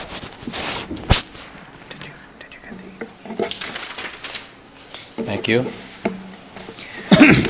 I'm going to go quickly. Uh, Please feel free to interrupt me at any time if you have questions, or we will address them at the end, whatever your preference is. But um, probably just uh, six or eight slides uh, and a couple of comments. Uh, Right now, the proposed tax rate for fiscal year 2016 is $17.03 per thousand. Uh, That is always subject to a little change once the DOR reviews and approves the documents, but In general, the different classes of property have increased from 3 to 8 percent, uh, plus or minus. Uh, That puts it into a little chart on the next slide. Um, I think we um, selected a poor choice of color this year. Oh, stand at the mic. Um, But uh, again, in general, uh, single families up about 5.5%, uh, commercial property 8%, industrial property uh, 5%, and vacant land 3%. Um, I do want you to understand that these are general statistical averages, and statistics are a little bit deceiving uh, because there are properties that actually went down in value, there are properties that went up in value, and there are properties that went up significantly in value. Why could a property go down? Uh, Could be a house fire, could be demolition. Why could a property go up? Changes to the property record card, uh, or in addition to a property, renovations, in addition to the market change of 5.5%. So uh, This just puts it into a a pie chart, but basically, um, as the chair has said, about 83% of the property in Hopkinton uh, falls in the residential class, and about 17% of the property falls in the commercial, industrial, uh, or personal property class, and that has remained uh, fairly steady in Hopkinton for several years. So this chart shows the uh, average single-family assessment. So uh, we started in 2010, uh, ran up to 2016. Um, You know, perhaps, uh, it it certainly demonstrates it graphically, but perhaps the uh, two more important years are, last year, the average was about 495,000. Uh, This year, the average single-family has risen to 525. This chart shows you the average tax bill for a single-family property in Hopkinton from fiscal 2010 to fiscal 2016. Uh, And because of the increase in property value uh, and the decrease in the tax rate, uh, there is only here uh, for, again, that average single-family property, about a $50 increase in the tax bill. And that obviously would change based on the assessed value of the property. Uh, This compares the uh, town of Hopkinton, uh, which is right here, uh, the average tax bill uh, with some of the other communities that are either geographically adjacent to us or somewhat demographically similar to us. And I'd be happy to go back to any of these slides if you'd like. I know I'm moving quickly, but these are the top five taxpayers in Hopkinton. That's the assessed value. EMC, oh, sorry. EMC, Hopkinton LNG, uh, Legacy Farms, which is the uh, Alta Legacy Farms apartments, not the condominiums, uh, NSTAR, uh, and Verizon. And uh, this is the effect of shifting the tax rate. So um, at a single rate, there is obviously uh, no difference in the tax rate. If you shift to a 5, 10, 15, or 20 percent, um, in this case, it would decrease the residential rate by about 1%, increase the commercial by 5. This is minus 2, minus 3, minus 4, increases it to 10, 15, and 20%. And this is the last slide, but uh, you will need to decide tonight uh, on whether or not to have an open space discount, a residential exemption, a small commercial exemption, and either a single tax rate or a split tax rate. And then at the end of the evening, uh, when you sign all of your documents, you'll need to sign the LA5. Okay, thank you. So, yeah, just to frame this out for the board, can you um, tell everybody what this current status of all those is? Um, Currently, and for the past several years, I'm going to actually start at the bottom if you don't mind, but uh, you have maintained a single tax rate. Since uh, time and- immemorial, right? What's that? So forever, right? No? Okay. How long? About three years back when I was in the office, that we split the rates. Three years back? I don't think it was three years back. For about three years. More than, a way, yeah, right. Not since I lived in town, yeah. Back in the 1990s, I believe, Yeah, okay. for one or two or maybe three years. So we've had a that's- single rate for a long time, Right, okay. single rate. Uh, And you currently do not have an open space discount, a residential exemption, or a small commercial exemption. Okay, and can you tell the board what the LA five is, what material, what information's in that that we have to attest to when we sign it? Um, Well, you know, right now, the LA5 is predicated on your past history uh, and is basically factored on a single tax rate and no exemptions. Um, And then what it does is it it tells you what your excess levy capacity is.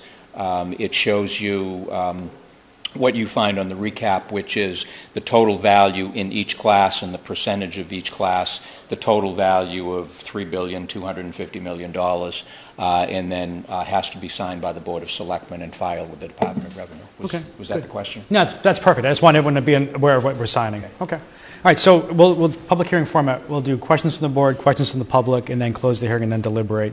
And I think, just in the interest of time, not to take away anyone's fun for the evening, but I don't know if we need to belabor things unless we want to change them.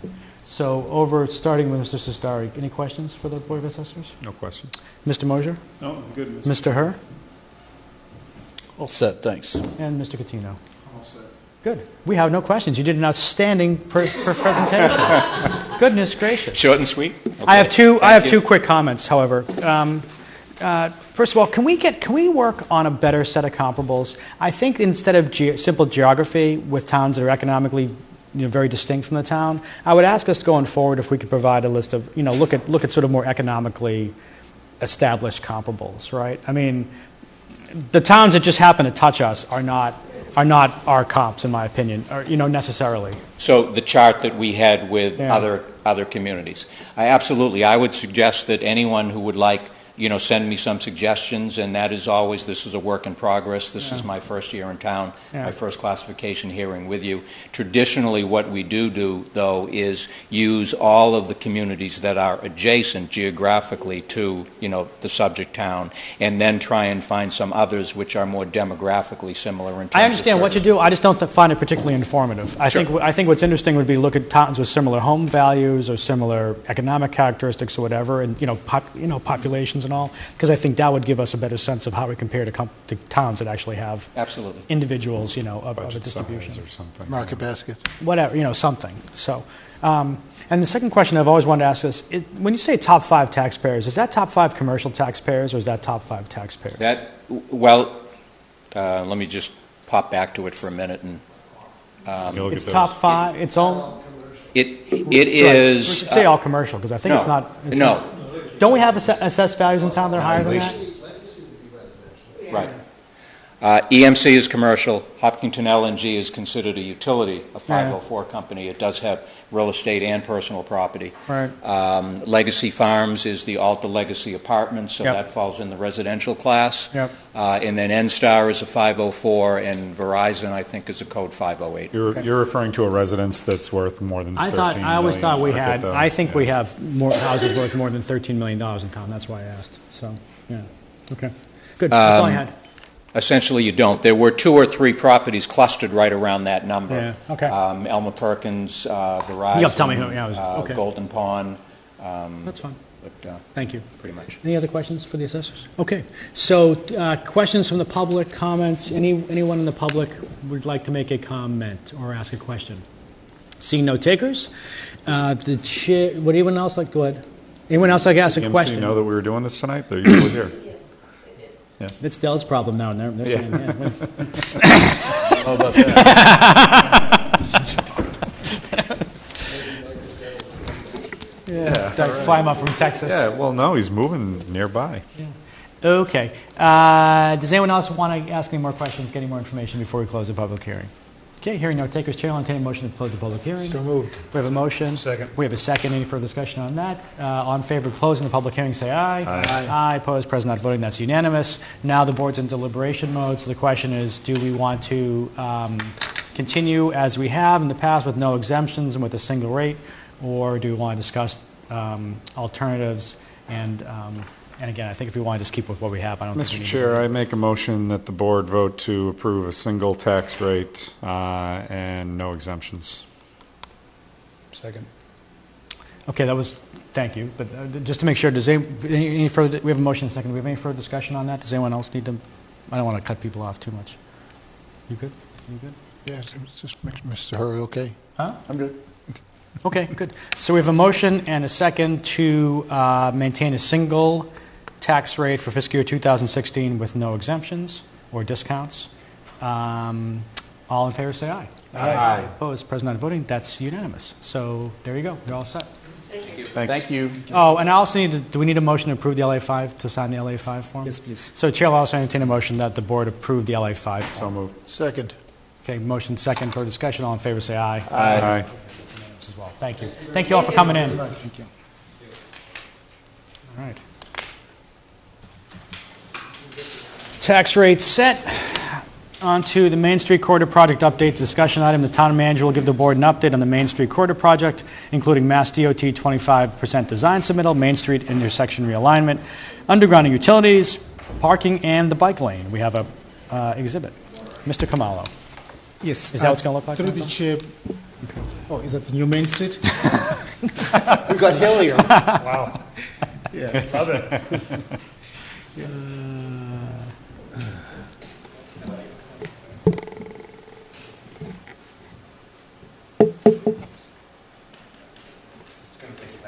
Sure.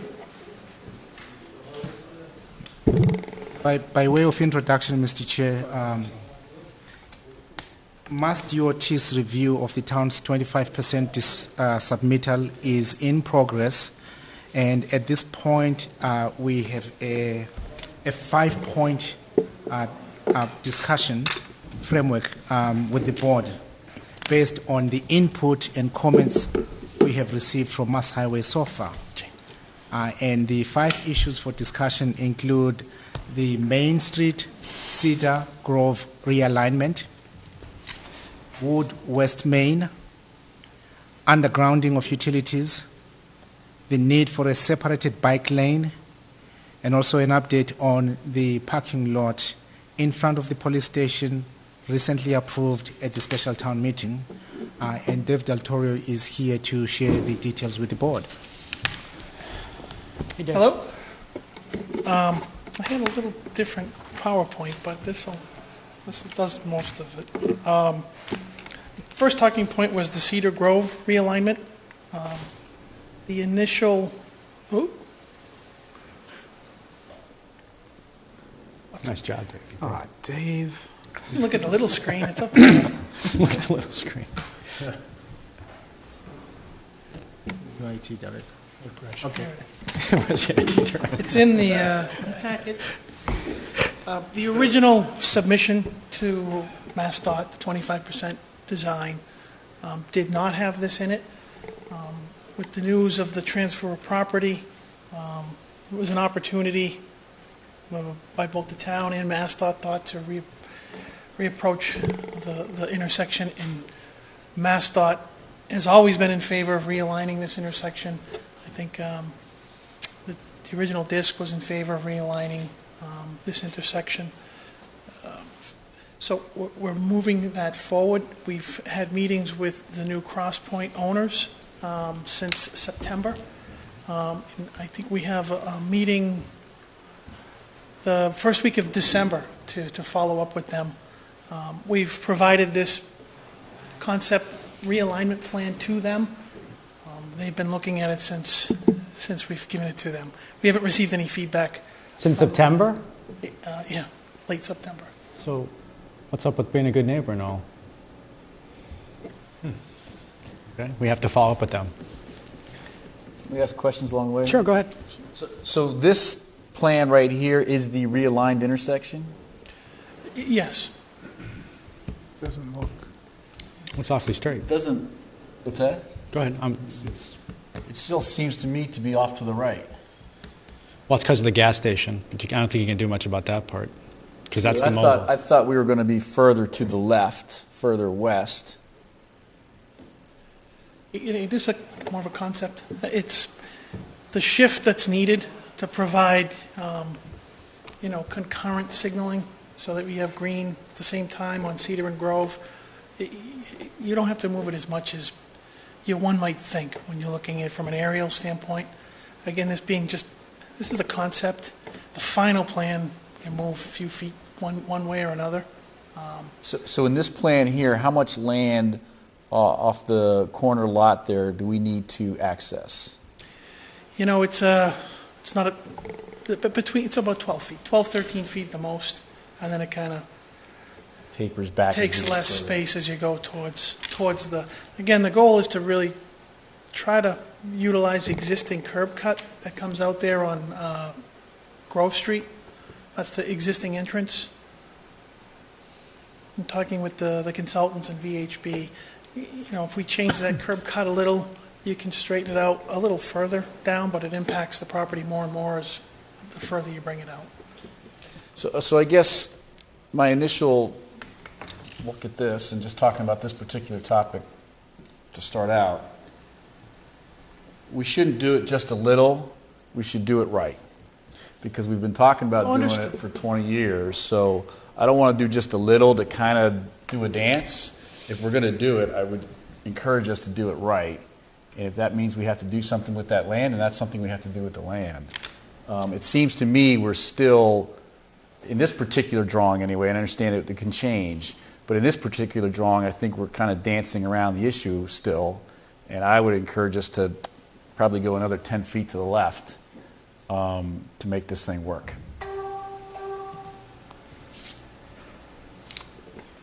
Okay.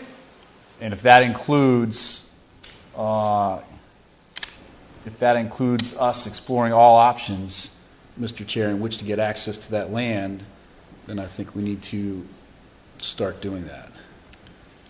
I agree. So I will, uh, we'll proceed in more aggressive um, realignment. And again, we're working in cooperation with trying to minimize the impact. Um, If, Dave, if we showed MassDOT Oh, yeah, a okay. straight-on intersection, pretty much, you know, for the first 30 feet coming back or 40 feet coming back, would they be, look at that more favorably than they're going to look at this? Which road are you talking about, Brian? I'm Just so all talking of us- about Grove Street Grove Street. going south. I don't, I don't, I'm assuming you, you mean move I'm this. talking in there, little yeah. further. where the gas station is now? No, the gas station's on the right. You'd like to move this, this sidewalk much further. Oh, you know what? I was further. 90 degrees off. Now I get it. Okay, sorry. Right. Yeah. Yeah, you want to, you want to come, bring that left lane further to the left. Bring the left lane further to the left, a line further, And you we know, have a better straight with, and a- yeah. with Grove Street going north there, A right or left in a straight lane. As best we can, yeah. Yeah. And my sense is this is, this is maybe 10 feet of moving over. About 12, it was about 12 and a half, 13 feet. But it looks like we need about another 10 feet, give or take. Yeah. But I want to make sure MassDOT is very comfortable, and if we're going to go through the process of fixing the intersection, I want to fix the intersection. Yeah, amen. And to my point a minute ago, if, But doesn't that mean essentially moving the whole road, the whole road left though? Because you're not going to make it into four That's lanes. how I see it, Yes, too. and that's So why I'm you- saying you want we to need pull to it away from the gas station and go. I knew, we could have a little park in front of the gas station or something along those Whatever. lines. But if, my concern is, and based on the, how we started out with when's the meeting scheduled and how long have we been waiting for input from others, you know, it's time, at some point, we have to make some decisions as a community. And my sense is we're approaching that time and we can't, we can't half fix the intersection. So I want to be clear that if we need to and we will, we should explore all avenues to access the land we need to make this thing right. Amen. Okay, keep going, Dave. We'll, we'll, oh, Um, you so- had a question, John. But I just wanted to support Mr. Herr's comments 100% because I look at this and they,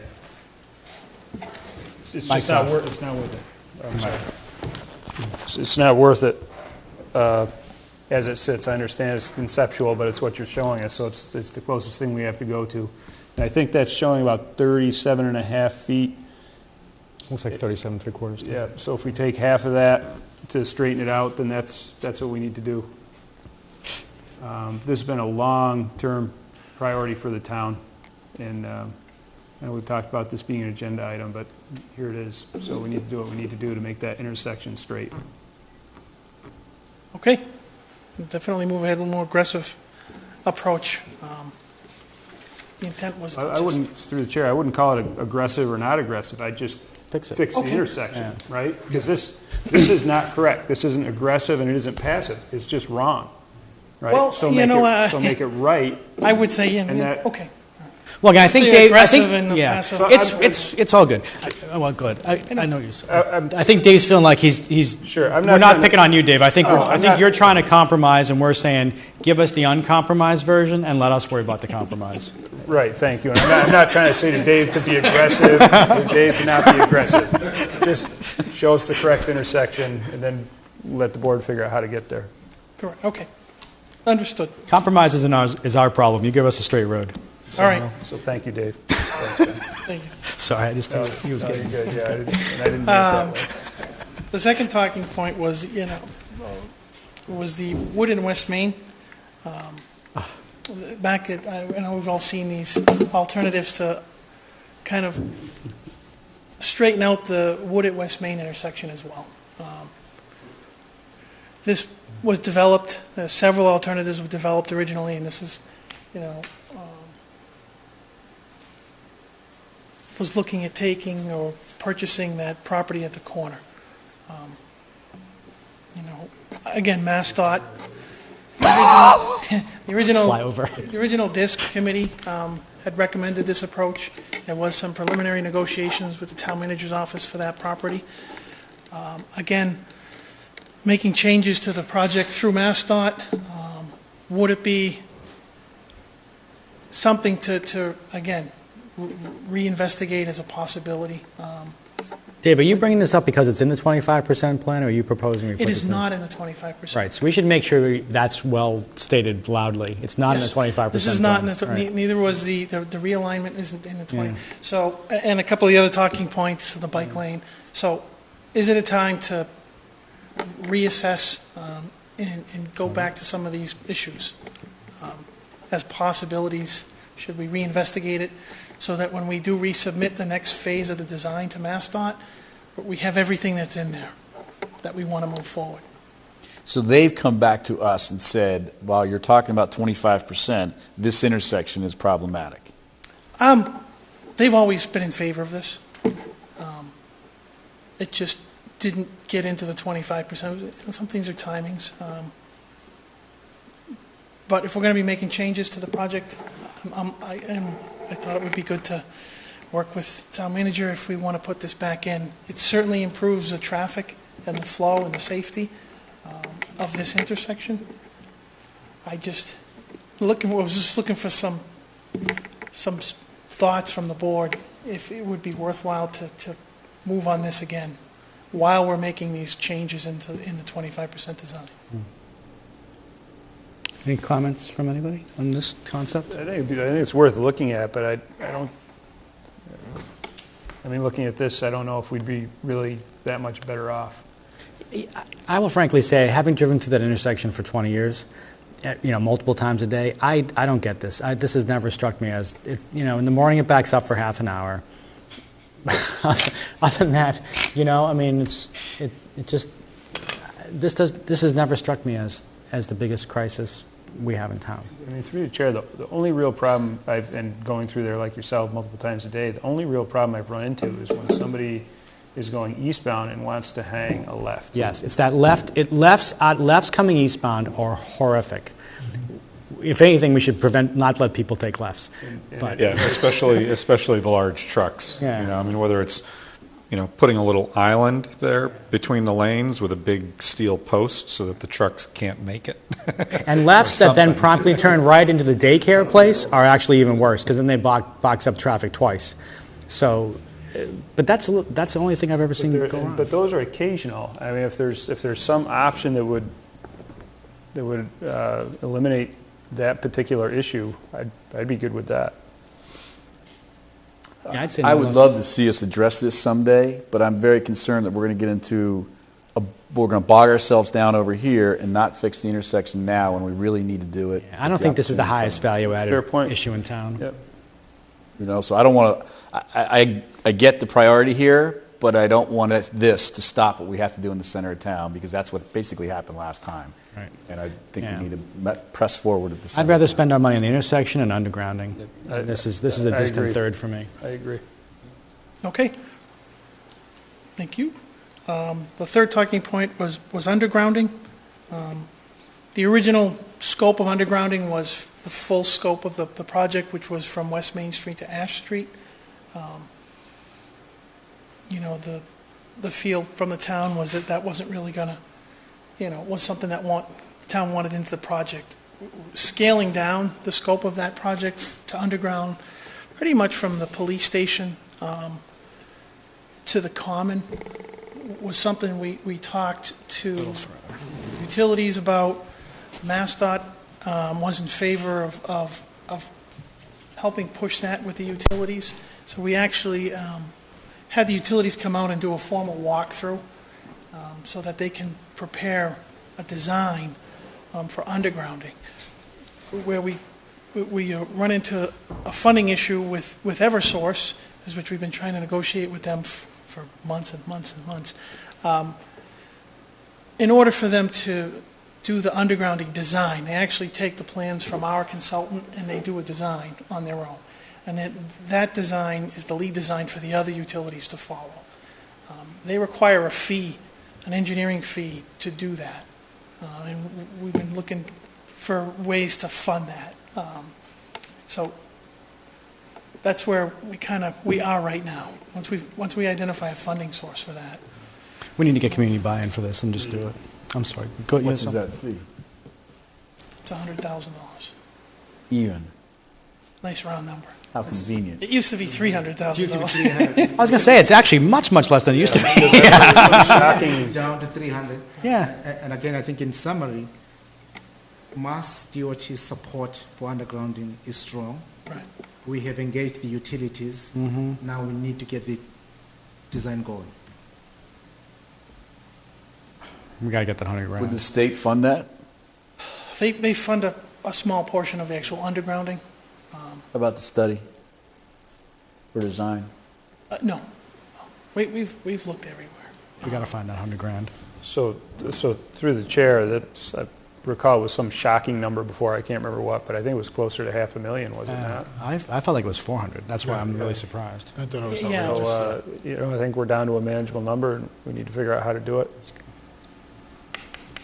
So I guess, We got to find that. so that that was number. where we're planning on moving forward. We, we kind of been moving both designs forward as much as we can, um, without expending too much design money, um, doing two designs, so. My only comment on this whole thing would be you should pull it a little further up the street, in my opinion, like sort of across from the old high school. You know, it, it shouldn't, like the police station's kind of down the hill. I think it should come back up. It, it ends up, once you go under, you, you, you have to locate the, it's probably gonna be, gosh, I forget, two, two poles up from the police station.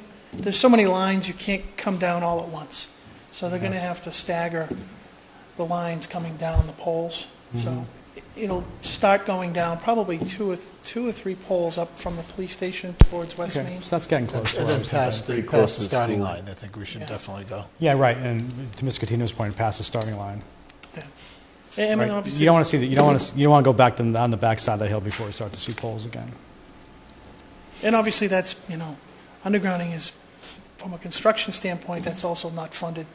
That's, that ends up being the town would need to borrow that money. Um, That's not part of the, the tip money if you're underground, so. I think, I think getting this cost estimate is, a is, is, I think this is a priority for the board. I think, I, the sense I'm getting is the board would very much like to get, find a way to get this cost estimate, because we, I think we want to move this ahead if we can. Sir? Y- Yes, and in addition, um, staff has been exploring two other opportunities for lowering the cost of undergrounding. Number one, in our conversations with uh, Mass DOT, uh, we have broached the subject of Mass DOT actually carrying the cost of undergrounding within the intersection uh, and, and, and building that cost into the cost of uh, the, the, the, the, the state's contribution. The other piece is in terms of how we actually lay out the, the project.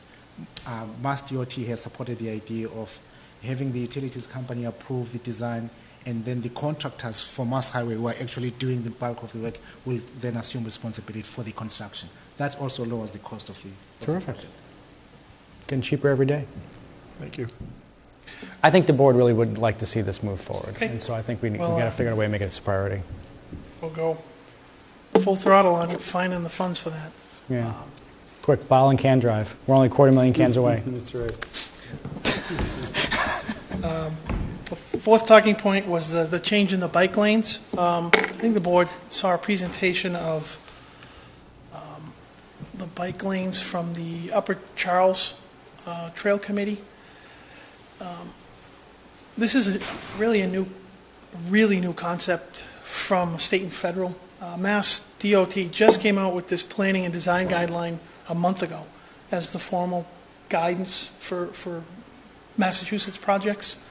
Um, Real quick, what the board was shown was kind of a two-way, you have bike lanes on one side and travel on the other. Uh, MassDOT's um, study and recommendation, recommendation is, you know, this does provide full access, um, and this is the bike lanes on, on both sides of the road. These are the four kind of key components when you're looking at which one do you want to do. Um, This provides full access to both sides of the street, where this is just, you know, bike traffic on one side of the street. That uh, provides some inherent difficulties. What side do you put it on, so forth? How do you get from one side to the other? You're going to put more crossings and so forth. Um, Obviously, both provide two-way traffic. You have fewer conflicts when you have bike lanes on both sides. Um, You just have fewer pedestrians. Drivers, um, there's not unexpected bicycles coming. Um, In operations at intersections, when you have it on both sides of the street, sometimes you have to put in special timing cycles just for the bike lane. Um, There's enough, there's enough delay with traffic through this corridor, so um, we discussed this with MassDOT. MassDOT themselves, for this project, because there's so many curb cuts, there's so many um, intersections, it's a tight right-of-way, they would really prefer um, bike lanes on both sides. Uh, And what, what it ends up really looking like, you know, in concept, where there's enough space, you have a buffer, um, and this is elevated, and you have your bike lane, you have a green lane, and you have a pedestrian. Um, Where it gets a little tighter, it might end up being, you know, again, this, this would be elevated the same elevation as a sidewalk, but you, you end up losing some of the buffers in some of the tighter spots. Um, um, And again, this, I just try to look for a real-world kind of picture. Cambridge kind of just recently put one in, so I, I I could live with can't promise all the trees. I could totally and with that. Just do that everywhere. We'll be fine. So, um, again, I know the presentation and the upper trails, we're looking at, at this concept. Uh, we talked to Jeff Barnes, John Westerling and myself, and Jeff Barnes uh, is on the trail committee. I think he did the presentation to the board. He, he seemed to be okay with, with a di- different concept. Um, and MassDOT would really like to do this. So, uh, before we try to initiate that and incorporate it into the design, and just get some feedback from the board, because it is going to take extra, extra design time, and we have the funds for it, but um, it does extend the schedule a little bit to incorporate all these changes into the plan already, so. Mr. Mosher. Through the chair, I- I would support the one-way SBL pair. I think people understand that. Looks like in the categories, it makes the most sense, use existing signaling. It Makes sense to me. Um, I guess my question would be on some of the, some of the different curb levels and things like that. I just would wonder how they work with snow removal. I've also seen um, separation by these reflective bumps and also with um, depressions in the pavement as kind of like a warning strip. So I guess I would just, as this is going through the process, uh, take a look at those options also, see which works best. I know DPW was trying to avoid any sort of, you know, markings in the roadway to separate like the road from the curb. Those end up sometimes not being an elevated, they're on the same elevation as the road. And and it- obviously with plowing it becomes an issue. um, Okay, with- with just, the- just some thoughts, but I support that first option on the left. I think that makes sense. Anybody have any questions, questions, comments for Dave? Uh, you know, I've, um, uh, I was just away this past weekend and I, I saw the two-way SBL and I really liked that, but I think it's good for different application. Um, you know, one where there's more pedestrian traffic uh, than, than the uh, automobile traffic. Um, the median two-way SBL, I can think of reasons that I really like it, but it seems like a big risk and, and, you know, dangerous in the end, at least for our application. So I think the one-way SBL uh, pair seems to be the most logical. Um, Is, now, if, if we get to the point of implementing this, is that something where, um, I don't know what, what group it would be, uh, but would somebody have to present different rules, I guess, for use of bike lanes? Uh, So, you know, no motorized traffic, uh, no skateboards, you know, this, that, and the other, you know, no segways, you know. Is that something that needs to happen, or is that just something that we put signs up, or the police enforce, and, and it just happens on its own? I, I don't know, honestly. Yeah, I mean, Something to think about. I know we're, we're a ways away from it, but. Wheelchairs? Questions, comments for Dave? Anyone else? Brian? Um, all great points, and I'm really excited to see that we're talking about this tonight, and we've got some some progress and some some things to work on. Parking for all these different issues. The parking's going to come up. It's a reasonable and legitimate question uh, for the residents of, of the center of town as well as the businesses in the center of town. Um, we've got six additional spaces coming in front of the police station, and we have a sketch here which looks pretty good because we leave some green space in between the six that are there and some green space between there and the road, which looks good. Um, and we connected to that sidewalk going back. So there's some parking, additional parking there. We've got additional parking uh, with St. John's Parish now, and that additional parking is tied to the library, or is that just additional parking tied to the center of town? Specifically, 25 of the 40 spaces attached to the Okay, so we've got some work going there, and we've also, it's my understanding, we're in dialogue with, um, we're in dialogue with uh, Cross Points about accessing, accessing parking behind the former Colella store, correct? Where else are we looking at parking improvements, additional spaces? We will continue investigating the options uh, presented by the relationship between the town and Bill's Pizza. Uh, As part of our discussions with Cross Point, I believe we will also explore additional parking opportunities. Uh, I understand there may be some properties that may be on the market within the corridor uh, that the town will continue to explore as well. Okay. Uh, We've been talking about exploring parking spaces with Bill's Pizza for the better part of the millennium. Um, What's, uh, was that ever going to come to be? In, in fact, uh, I did have a very brief conversation with, uh, uh, with, with Zach from Bill's Pizza. Uh, they are looking forward to receiving a proposal from the town. That will- Okay. Yes. Because if we can, if we can address the parking as we address these other talking points, we will be able to move this further and faster than we've ever done before. If we ignore the parking and just hope it goes away and sweep it under the rug, it will come back and rear its head and make it, make things more challenging for us. So I think it's important that we keep parking front and center in this discussion. A real brief summary of the parking. On-street parking right now, we have about 101 spaces. That's as striped, so some of those aren't to size. Um, The proposed plan has 73, I think, so it was a 28 space loss. Um, We're adding six here, and the library is adding 20, so, you know, from, from a project standpoint, it's, and then plus the, the church, you get back close to where we were before. Um, Right, but each of those constituents along the way is going to say, but not in front of my store. No, I'm I gonna I come understand, back." I just, big picture, um, more parking's the better. Um, I just wanted to get kind of the summary of, because I know everybody, everybody asks me how many, to the space, how many spaces are we losing?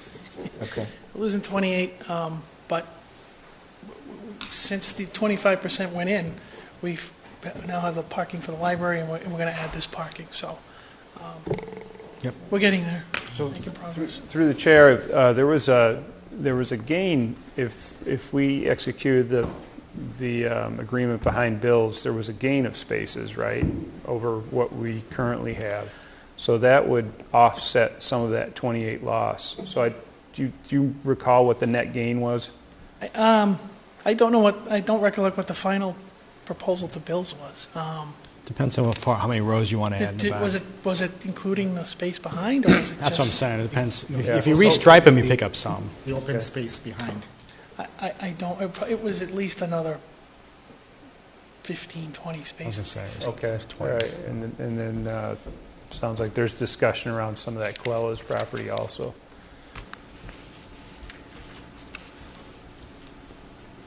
And, uh, and that was it? Any other questions for Dave? Questions, questions? Huh? Thanks. One other point, if I could, as far as, um, to look at that intersection again and, and the need to make sure we can straighten it, truly straighten it. Is town counsel engaged in the process and looking at the options that we need to consider, uh, including uh, some sort of form of taking? Uh, Is town counsel engaged in this at this point, or is that something we need to authorize to get that going? Mr. Khumalo? Need the board's authorization? To explore those options? Yes. Mr. Chair, I'd encourage us to get that ro- ball rolling sooner than later. Okay. Um, uh, Do we need a vote on that, I guess, or do we just, we can just ask, you can just ask him as, you get the sense of the board. We'd like to, we'd like to figure out what's going on Yeah, there. I I would support that also, so we know what all our options are. Yep. Okay. Good. Any more questions? So I think, Dave, in terms of things we, you know, from the takeaways from tonight, we care about this over everything, right? Yes. Give us, give us the, give us a beautiful, eye-watering intersection, then let's worry about the rest. Then, um, undergrounding, I think, needs to become a priority for the town, right? We need to get, figure out how to get this, this a cost estimate, because we've never really had hard numbers. Let's get the cost estimate, let's do it right, from somewhere beyond the starting line to somewhere beyond the police station. Parking has to be integrated into this in a way it probably hasn't been up until now. We've, we've always, we've been working on parking for as long as I've been on this board, but we need to, we obviously need to continue to think more seriously about this. And then I think the Wood Street thing, not that, it's not that your design isn't a good idea, not that it's not a valid concept. I just think it's, it's kind of, it's, it's a bridge too far. I think it's just too much to worry about. We should just, I, I, I think the sense of the board is, I don't think you sense any will here to really push that one as aggressively. We'd like to really focus on these three, three things, I think. Is it- Am I, am I representing our? Well put. Okay, so there we go. So let's just, let's just keep it moving forward. Great. Thanks, Dave, nice, nice job. When would the next update be? 2017. That's the reason for my question. That's when you come in and tell us it's all been done? Yeah. No, I, I, I think we, we, we hope to make regular updates to the board. Quarterly? Yes. Good. Thank you. Thanks. Thanks, Dave. Hey, thanks, Appreciate Dave. it. Thanks, Dave. Item 11 on the agenda, board appointments to the Irvine Todaro Properties is an action item. The board will review minor amendment, a minor amendment to the Irvine Todaro Properties Advisory Group charge, and considering appointing candidates to the group, a representative from Parks and Rec, a representative from the Board of Selectmen, and three at-large candidates. Uh, Mr. Khumalo, please. Yes, um, after the board approved the charge for the Irvine Todaro parcel uh, develop, development plan process, uh, we embarked on um, inviting interested parties to apply for positions joining that team. Uh, and as the applications came in, uh, it became apparent to us that we needed to be very clear in terms of the role of the team that we were seeking to bring on board. And thus, the revised charge simply uh, incorporates minor changes that highlight the fact that this particular team is going to be an advisory group providing recommendations to the Board of Selectmen.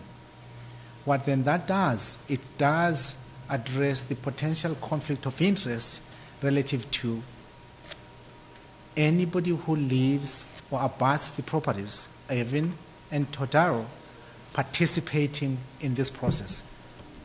The recommendation from town counsel was if this is strictly an advisory group to the selectmen, then similar to what you have in any other planning process, the town could allow mm-hmm. residents who abut the property to participate. So that's the nature of the minor changes that are presented in the charge. So you just put the word advisory in a bunch of places? Yes, and, Okay. and, and highlighting the fact that the group is making recommendations to the Board of Selectmen. Now, does this con- reflect a larger concern the Board of Selectmen should be aware of, which is the applicants to date have basically been abutters? That is correct. So, you know, this, the lar, so there's a question here of, A, do we appoint who we have, given that it's abutters? But I think the, the idea here was for this group to reflect the community in a more broad sense, right? And, and, and so I do think it's a, well, so you have technical changes to the charge, which the board can consider if we want to accept, but also I think we do have to be cognizant of, the, of this fact that, that we don't have anybody else who's volunteered for this committee yet except the people who live basically next to it. And that's something the board has to consider if they think that's a healthy uh, attribute for the process. Yes, and you'll notice that, uh, in fact, one of the key changes we made in terms of um, the revisions is that we, we inserted the language that reflects that the recommendations from this group should align with the aspirations of the wider community. So to your point. Yeah. But so, so, Membership, s- tha- I'm sorry, Ms. Khan, I didn't mean to cut you off. I- So as, as I was saying, therefore, perhaps the board could also look at the membership being reflective of the wider community. And that's exactly where I was going to go, which is, you know, instead of saying preference will be given to persons from the abutting neighborhood, should we in fact in, instead limit the number of persons from the abutting neighborhood so that they have a, they have input, they have a, they have ability to, to be involved in the process, but they can't, um, you know, essentially on their own direct the process. Or, so we just, just something for the board to consider. So I guess we have two things here. So the first question is, uh, let's take, let's take up the charge first, because I guess that drives everything. So the changes to the charge that are in here are the advise, uh, re- reflected transition to an advisor group. And the thing that we just now were talking about, which is not in here, would be the question of composition and our, um, our desire to uh, uh, ensure that this is, not that these folks wouldn't, but that we have in, in- input from the, a, a wide cross-section of the community. So I guess uh, trying to, trying to head toward movement on the charge, uh, I'd like to, through the chair, ask Mr. Khumalo, uh, the applicants that we've gotten, without mentioning any names, because I don't see any in my packet. Um, First of all, how long, how long uh, were we accepting applications? Was it posted? Secondly, how many applications did we get for how many positions? And third, how many were abutters versus non-abutters uh, for those at-large positions? Um, the positions were advertised for more than the required 10 days.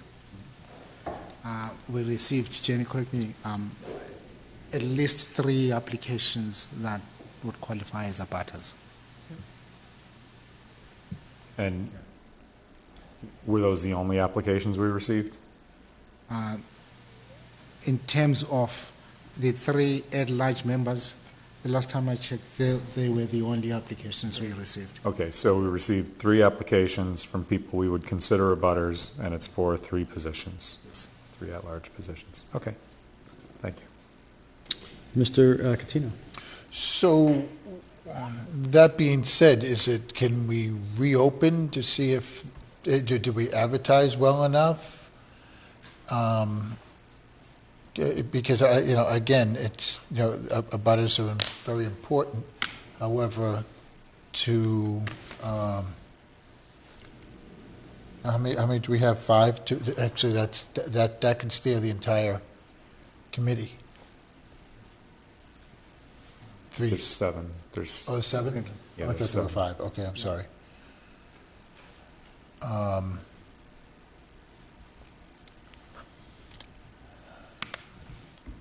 No, it looks, uh, it looks stacked. It's that, that's why the recommendation for the amended charge is Okay. being made. Mr. Mosher? Now, I'm a little surprised at uh, town counsel's uh, leniency in this case. Um, I don't, I guess I, I missed the preference will be given to persons from the abutting neighborhood when we did this. um, So that's, that's on me. Um, Well, I don't think we thought we'd have this outcome. Yeah, right. I think, I think we wanted to make sure they had some representation, not total representation. Um, But we we dissuaded people from outside uh, that were not abutters by having that statement in there. Right. So I guess I'd, I'd like us to, to run it again and see what, and see what comes back. Mr. Herr? I think it's important to have the neighbors' input and, uh, and a direct abutter, given town counsel's uh, input, would work for me, but that would be one clear and specific position that could represent those that do abut the properties um, or the property. And then the others, I would not want to be direct abutters. In fact, I'd rather be, they be from other parts of town entirely, because this is a town asset uh, and a town project and not a neighborhood project. Mr. Chair, I have another question. What what was, in the original charge, um, how how was the relationship defined between the decisions of this group and the authority of the Board of Selectmen? Were they just going to vote and make the decision? I I thought that it was coming to us for affirmation anyway. Yes. Uh, Overall, the committee was described as advisory, but there were a couple uh, provisions in the charge that may have implied some additional authority. For example, there was a provision which said the group uh, shall work with the land use director. Um, We have, we've, we've we've revised that to, to connote on an advisory role. We had also uh, indicated that the group could hire a consultant. Uh, we have revised that to indicate that they could work with a consultant who was hired by somebody else. Yeah. Okay. Uh, All right, so I think what I'm sensing is we're, we're not comfortable. Uh, We want the abutters to have representation, but we don't want them to have skewed representation. So maybe one way through this would be to accept the advisory group charge as amended with the last bullet under composition saying preference will be given to one individual representing the abutting, the abutters, the, the the abutters to the property or something like that. That's one pathway to do this. So they, they, they get at least one, and if we want to do more, we can, but we're not, we're not, um, we're not skewing this towards, towards them uh, so severely. And I, and I think what you're also, I also heard Ms. Kamal as, as a, as a stepping back from the charge, I think the board would generally like to see if we can try to attract some more people to this. Because this is, again, an opportunity to shape the community for a long time to come. People should want to participate in this. Um, Does anyone have any, is anyone good with that? Uh, Or would they have a revision they'd like, or, or um, No, I, can do you know, I agree, you know, kind of, as you said, stating that abutters will be given preference for a minimum of one of the three, you know, and then leaving it open on the other two. So, Mr. Kamal, uh, so Chair will entertain a motion to approve the the amended charge as amended, but also with that last bullet to change, to say preference will be given to one, uh, one abutter, one individual rep, who, who who will represent the abutting neighborhood. I'll move that. Does that make Second. sense? Is that, Yep. li- is that linguistically okay with everybody? Okay. Motion second, further discussion? All in favor of uh, approving the amended charge with the town manager's changes and that one, uh, say aye. Aye. Aye. Aye, opposed, present not voting, that's unanimous. So I think you have the amended charge there, Mr. Khumalo. And now let's step back and talk about, do we want to appoint people tonight, or do we want to, because again, this isn't a crisis. I mean, we don't have to get this thing moving. So through the chair, I think this is one where I'd, I'd like to have people come in and Right. hear a little bit where they're coming from, Agreed what with their that. motivation is. Okay.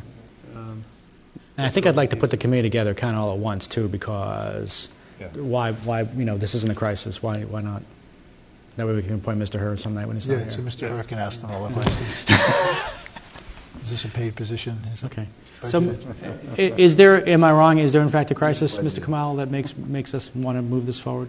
No, I think it, it, it makes sense to wait for the whole committee to be appointed in Okay. one sitting. So let's, let's repost this, let's see if we can some, entice some more people to come. Again, uh, this It's is. an a- important asset. Yeah, it's a lot of open space, we should really want to think about this. All right, so let's do that. So that's that item. Is there anything else, any late breakers we have to take up tonight, Mr. Khumalo? No? No. No, we're good? I think we're good. On that one, okay. Yeah. Just making Um, sure, all right. The- Yes, we did the list. Um, Okay, I just want to make sure on that other one, we were set. And We're the set. next, the, the next scheduled Board of Selectmen meeting is December 1st. Right. Um, We, we have sent a request for an early uh, executive session. We are looking forward to receiving responses from the board Mhm. uh, on that day.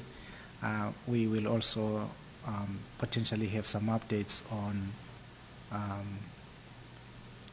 one of the liquor licenses in town. Okay. We'll, we'll get to that one then. Good. Future board agenda items, uh, Mr. Cestari. Um, I mentioned earlier that I think we should take up uh, appointing someone for the uh, uh, Charter Review Committee. Yeah. And I think that'd be a good night to talk to some fire chief candidates. At the next meeting. Okay. Okay. Uh, Mr. Mosher. Uh, Still have my um, discussion around the um, former Colella's property. I'd like to hear about uh, what town counsel comes back with. Oh, on the, uh, on the road. The Okay. alignment? Got it. Mr. Herr. All set for now. Mr. Catino. I'm set for now. All right. That's that. Chair will entertain a motion to adjourn. So Second. Motion second. All in favor, say aye. Aye. Aye. It's unanimous. Good night, everyone.